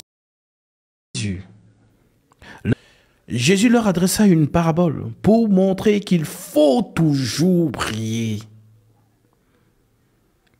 et ne point se relâcher. Depuis que j'ai pris là, je ne vois rien. Ok, continue, tu ne vas rien voir. Vous savez, je vais vous dire quelque chose concernant mon Père céleste. Le Seigneur connaît les cœurs. Il y a telles ces personnes qui Prie, prie, prie pour avoir quelque chose. Tant qu'elle n'a pas encore eu ça, elle est pieuse. Il est pieux. Parce qu'il demande ça. Net Le jour qu'on lui donne ça. C'est fini. Elle a eu ce qu'elle voulait, c'est fini, elle ne peut plus. Alors il se peut que le Père te garde dans cet état d'esprit. Car quand tu es dans cet état d'esprit, tu es toujours dans la marche de la piété. Tu ne te lasses pas. Alors vous, que le Père a exaucé et vous vous relâchez, mes frères, la prière du juste est d'une grande efficacité. Le Saint-Esprit. Priez pour ceux qui ne connaissent pas encore leur don spirituel. Priez pour la vocation des saints. Priez pour les ministres. Priez pour que Dieu suscite encore ses ouvriers. Priez pour que Dieu ramène tous ces enfants qui sont encore retenus captifs dans les fausses doctrines, pas des faux hommes de Dieu. Les prières égocentriques là. Oh Dieu, vraiment, mes, mes copines seraient mariées. Moi, je suis pas encore marié. Dieu, regarde mon âge, je n'ai pas encore d'enfant. Dieu, Dieu, Dieu. Les prières de la chair. Vous n'êtes pas utile au Seigneur Lorsque ma soeur, mon frère, Seigneur, je me lève dans la prière pour ton serviteur. Seigneur, je me lève dans la prière pour tous tes enfants qui sont encore retenus captifs dans les fausses doctrines. Seigneur, je t'appelle. Oh Seigneur, regarde ta brebis égarée. Seigneur, ramène ta brebis. Les prières comme ça. Ah, si vous pouviez savoir. Quelqu'un peut être exaucé aux États-Unis à cause de toi, mais tu ne sais pas. Mais Dieu sait dans le secret. Tu n'as pas besoin de savoir parce qu'il y a des gens, c'est à cause de moi, si tu as été. Non, le Seigneur dans le secret. C'est ce qu'il nous dit Matthieu 6. Quand tu pries, entre dans ta chambre et prie. Et ton Père qui voit dans le secret te le rendra. Il y a des gens qui veulent trop montrer qu'ils prient. Dieu déteste ça.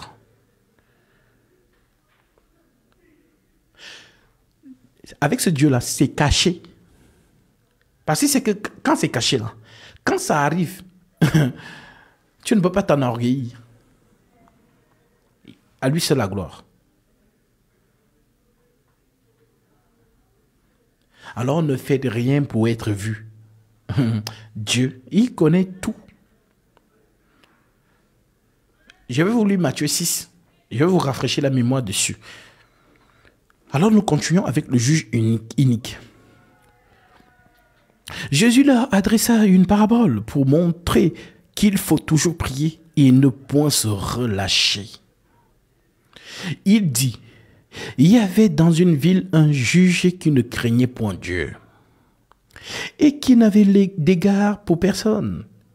Il y avait aussi dans cette ville une veuve qui venait lui dire, Fais-moi justice de ma partie adverse. Pendant longtemps, il refusa. Mais ensuite, il dit en lui-même, quoique je ne crains point Dieu et que je n'ai d'égard pour personne, néanmoins, parce que cette veuve m'importune, importunait Dieu, Seigneur, tu avais dit, Seigneur, Seigneur, Seigneur, et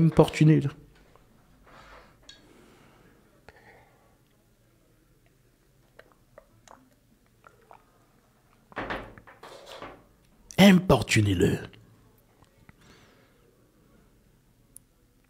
Vous savez, dans ma situation,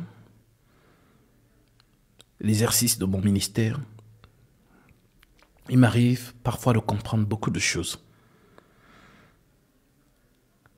Je comprends l'état d'esprit de Moïse dans le désert, qui conduisait le peuple d'Israël par l'Esprit de Dieu.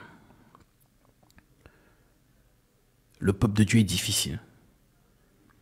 Car il y a des gens qui ont des caractères, mais de gorilles, d'autres de tortues, d'autres de, de, crocodiles, d'autres de, tout genre de caractère.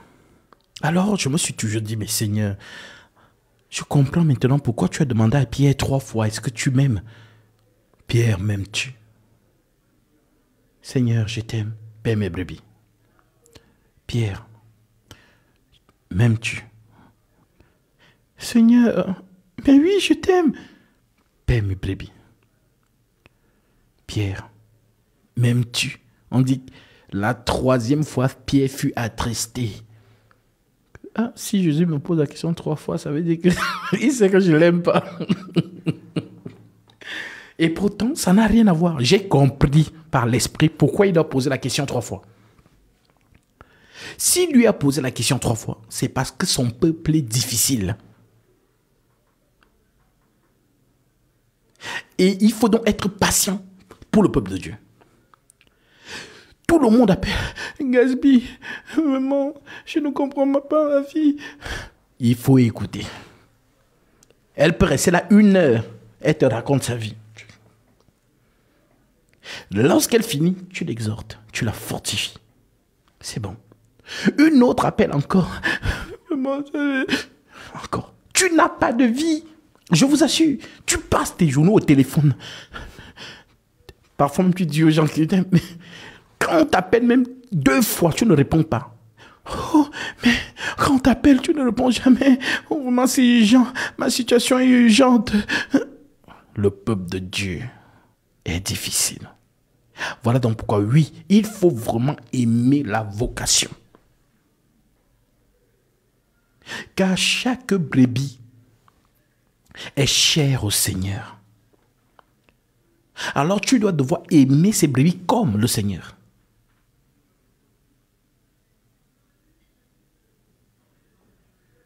Ce n'est pas facile. Mais c'est l'exercice. Voilà pourquoi on appelle ça charge. L'apôtre Paul dit c'est une charge qui m'est confiée. Même Moïse est plein dans le désert. Permettez-moi de lire ça, ces deux lignes. Et puis on revient chez le juge unique. Je prends vite nombre 11.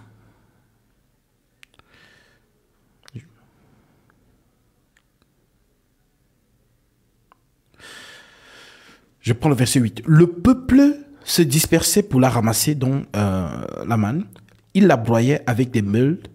On la pilait dans un mortier. Il la cuisait au pot et en faisait des gâteaux. Elle avait le goût d'un gâteau à, huile, à l'huile. Quand la rosée descendait la nuit sur le champ, la manne y descendait aussi. Moïse étendit euh, peuple, étendit le peuple, entendit le peuple qui pleurait. Chacun dans sa famille et à l'entrée de sa tente. La colère de l'Éternel s'enflamma fortement. Moïse fut attristé et il dit à l'Éternel, pourquoi affliges-tu ton serviteur? Et pourquoi n'ai-je pas trouvé grâce à tes yeux? Que tu aies mis sur moi la charge de tout ce peuple. C'est une charge. L'homme de Dieu, ce n'est pas seulement enseigner. L'homme de Dieu, c'est écouter, fortifier, exhorter, accompagner, conseiller. Le plus gros travail, c'est pas ce qu'on voit. C'est ce qu'on ne voit pas. Gérer les problèmes dans les assemblées. Non, moi je ne veux plus parler avec ce frère. Il m'a fait ceci, il m'a fait cela. Ma soeur, mon frère, nous sommes les membres du corps de Christ. Les, les membres du corps de Christ ne sont pas divisés. Le signe évident que Christ nous a donné, c'est l'amour. Il a dit, si vous vous aimez les uns les autres, on saura que vous êtes mes serviteurs si nous sommes vraiment les membres du corps de Christ Pourquoi la division? L'Église, c'est l'unicité, c'est l'unité de la foi, c'est l'amour, la charité, la fraternité. Ramener l'harmonie, la paix. Oh non, non, moi je ne veux pas. non. Il faut supporter ça. Parfois, quand j'écoute certaines choses, je me dis, mais ah, Seigneur, dans la fait, si tu sais qui est ton enfant et qui n'est pas, le Seigneur connaît ceux qui lui appartiennent. 2 Timothée chapitre 2 verset 19. Néanmoins, le solide fondement de Dieu reste debout avec ses paroles qui lui servent de sceau. Le Seigneur connaît ceux qui, qui lui appartiennent. Et quiconque prononce au nom du Seigneur qui s'éloigne de l'iniquité. Donc il faut gérer tout ça. Alors oui, c'est pas facile. Moïse fut attristé et dit à l'Éternel, pourquoi affliges-tu ton serviteur Et pourquoi n'ai-je pas trouvé grâce à tes yeux que tu aies mis sur moi la charge de tout ce peuple? Est-ce moi qui l'ai conçu, ce peuple? Est-ce moi qui l'ai enfanté Pour que tu me dises, porte-le sur ton sein comme le nourricier porte un enfant, jusqu'au pays que tu as juré à, à, ses, pères de lui donner. Où prendrai-je de la viande pour donner à tout ce peuple? Car ils pleurent auprès de moi en disant, donne-nous de la viande à manger. Et un peu comme si les 87 000 personnes qui me suivent, nous sommes vraiment dans une marche à proprement dite. Ça veut dire que Dieu nous conduit, je suis devant. Dieu est devant. Je suis son serviteur. Vous êtes derrière. La masse. Et toute la masse commence. Gaspille. C'est toi qui nous as fait sortir de Paris. Avec ton Dieu, vous dites qu'on part dans le désert. Nous, on a faim.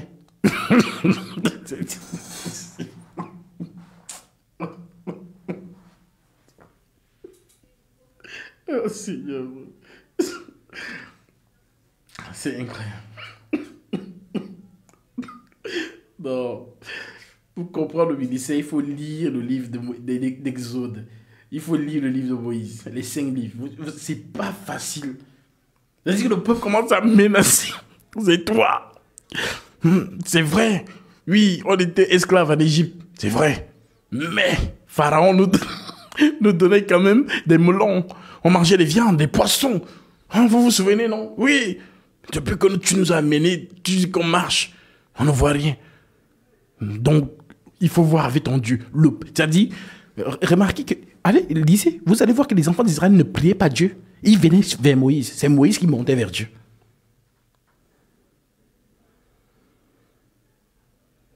C'est une charge. Parfois, je, je reçois souvent certaines questions. Ah, moi j'ai beaucoup prié, mais, je n'ai pas encore vu. tu, veux, tu, veux, que je réponde quoi ça? Tu veux que je raconte quoi ça? Dieu te dit, juge unique, prie sans cesse. Ma soeur, je vais te dire, prie. Mon frère, je vais te dire.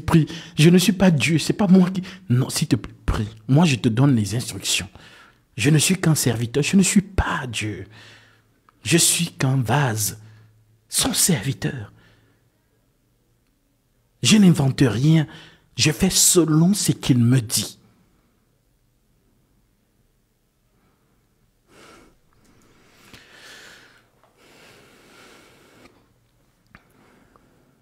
Où prendrai-je de la viande pour donner à tout ce peuple? Car il pleure auprès de moi en disant, Donne-nous de la viande à manger. Je ne puis pas à moi seul porter tout ce peuple. Car il est trop pesant pour moi. Donc, vous voyez donc que si Moïse se plaint de la charge, Paul va appeler ça à son tour charge. Je vous donne l'écriture. 1 Corinthiens 9.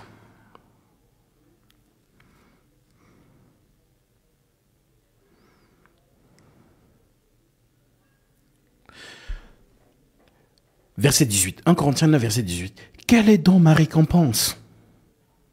C'est d'offrir gratuitement l'évangile que j'annonce, sans user de mon droit de prédicateur de l'évangile. Car bien que je sois libre à l'égard de tous, je me suis rendu le serviteur de tous afin de gagner le plus grand nombre. Euh. Avec les juifs, j'ai été comme juif avec, euh, euh, pour gagner les juifs.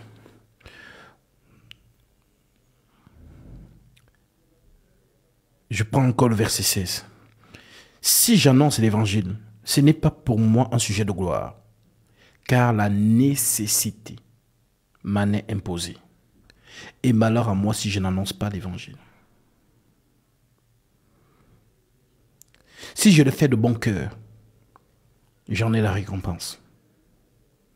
Mais si je le fais malgré moi, c'est une charge qui m'est confiée. C'est une charge.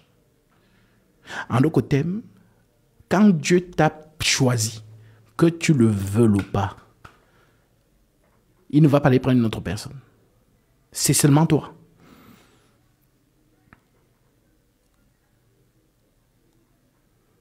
Voilà pourquoi il dit, si j'annonce l'évangile, ce n'est pas pour moi un sujet de gloire.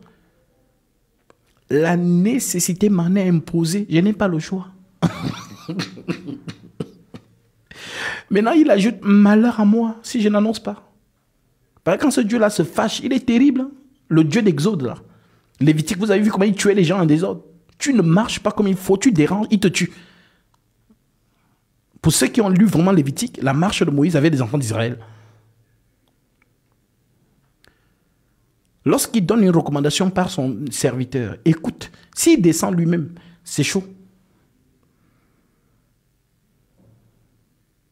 Donc, si j'annonce l'évangile, je suis dans 1 Corinthiens 9, verset 16. Si j'annonce l'évangile, ce n'est pas pour moi un sujet de gloire. Car la nécessité m'en est imposée. Qui lui a imposé? Dieu.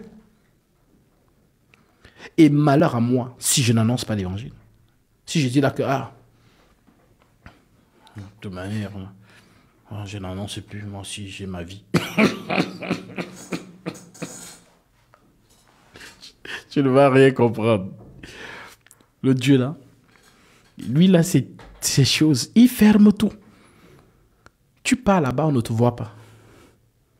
Tu pars là-bas, rien. Tu vas seulement revenir vers lui. Il ferme tout, il ferme. Même si tu vas voir les, sorciers, mais les sorciers vont te dire, ah, on ne voit pas. il ferme tout. C'est comme ça qu'il agit. Même en matière de femmes. Tu es beau gosse, non? On ne te voit pas. Excusez-moi. On ne te voit pas. Tu appartiens à Dieu. Tu es son ouvrier. Ce n'est plus toi qui vis. C'est lui qui vient en toi. c'est ce que Paul a dit. Ce n'est plus moi qui vis, c'est Christ qui vient en moi. Ce n'est pas un slogan. Alors oui. En Corinthiens verset 16, si j'annonce l'évangile, ce n'est pas pour moi un sujet de gloire, car la nécessité m'en est imposée. Et malheur à moi si je n'annonce pas l'évangile. Si je le fais de bon cœur, j'en ai la récompense. Mais si je le fais malgré moi, c'est une charge qui m'est confiée.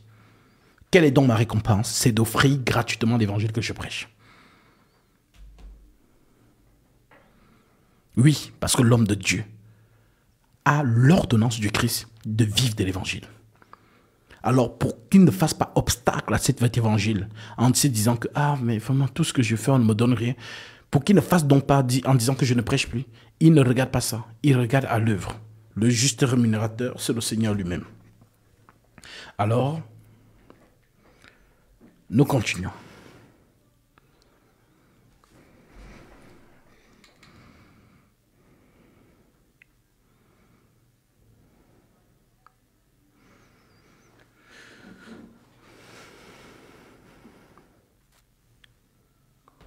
Donc,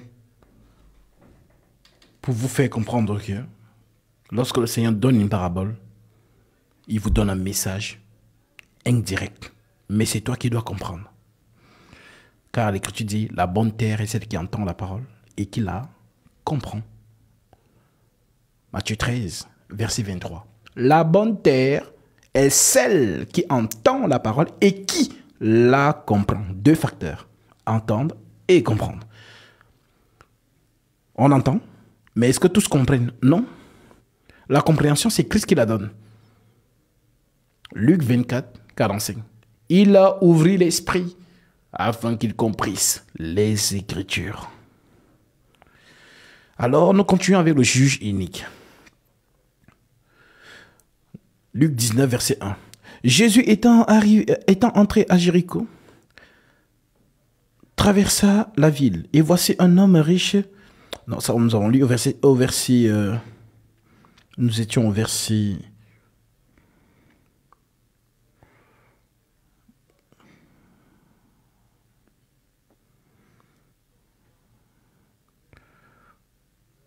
Attendez. Oui, nous étions au verset 6. Euh, le Seigneur ajoutant, entendez ce que dit le juge unique. Et Dieu ne fera-t-il pas... Euh, verset 1. Jésus leur adressa une parabole pour montrer qu'il faut toujours prier. Nous sommes dans Luc 18, verset 1. Luc 18, verset 1. Jésus leur adressa cette parole pour montrer qu'il faut toujours prier. Et ne point se relâcher.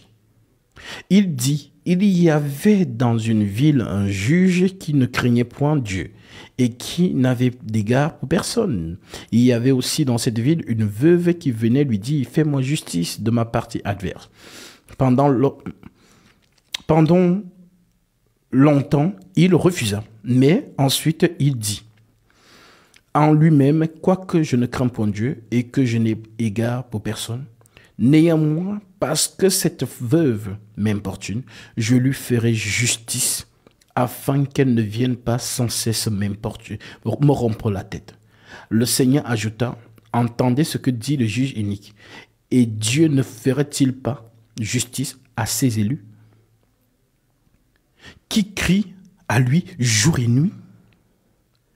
Et ne tarderait-il pas à leur égard? Je vous le dis, il leur fera promptement justice. Mais quand le Fils de l'homme reviendra sur la terre, quand le Fils de, l'homme viendra, trouvera-t-il la foi? Quand le Fils de l'homme viendra, trouvera-t-il la foi? Est-ce que tu as compris la pensée qui est cachée derrière cette question? Est-ce que tu as compris? La pensée qui est cachée derrière cette question Quand le Fils de l'homme viendra, trouvera-t-il la foi? Hmm, Je te la révèle. Cela veut dire que lorsqu'il va venir, il n'y aura pas beaucoup de gens qui auront la foi. Un petit nombre.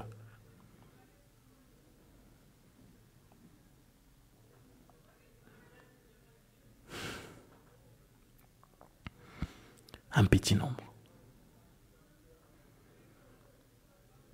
Qui auront la foi. Voilà pourquoi Paul prophétise, voici je vous dis un mystère, nous ne mourrons pas tous, mais tous nous serons changés. Donc ceux qui vont connaître l'avènement du Christ sans mourir sont très peu. Voilà pourquoi lui-même peut annoncer la prophétie en disant, le temps de la fin sera comme au temps de Noé.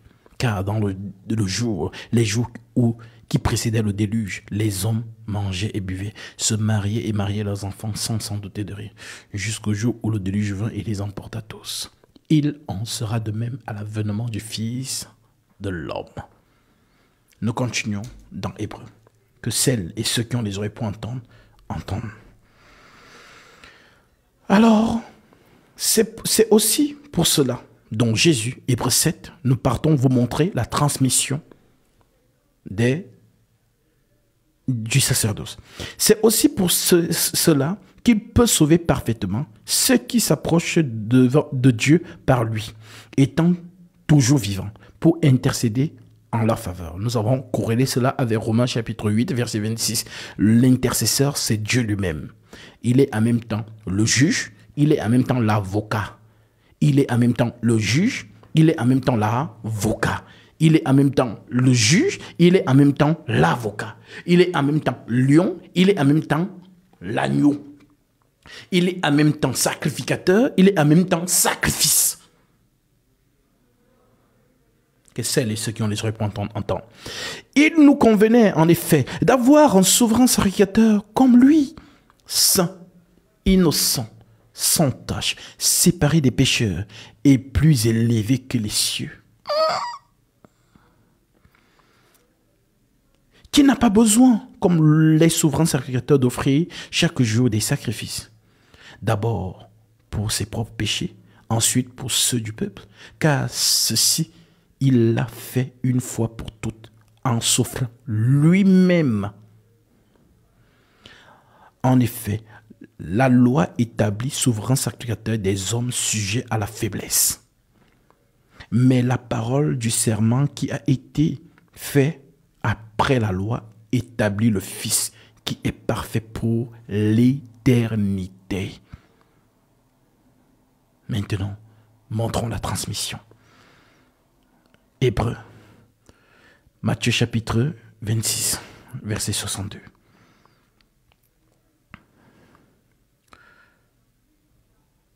L'écriture déclare.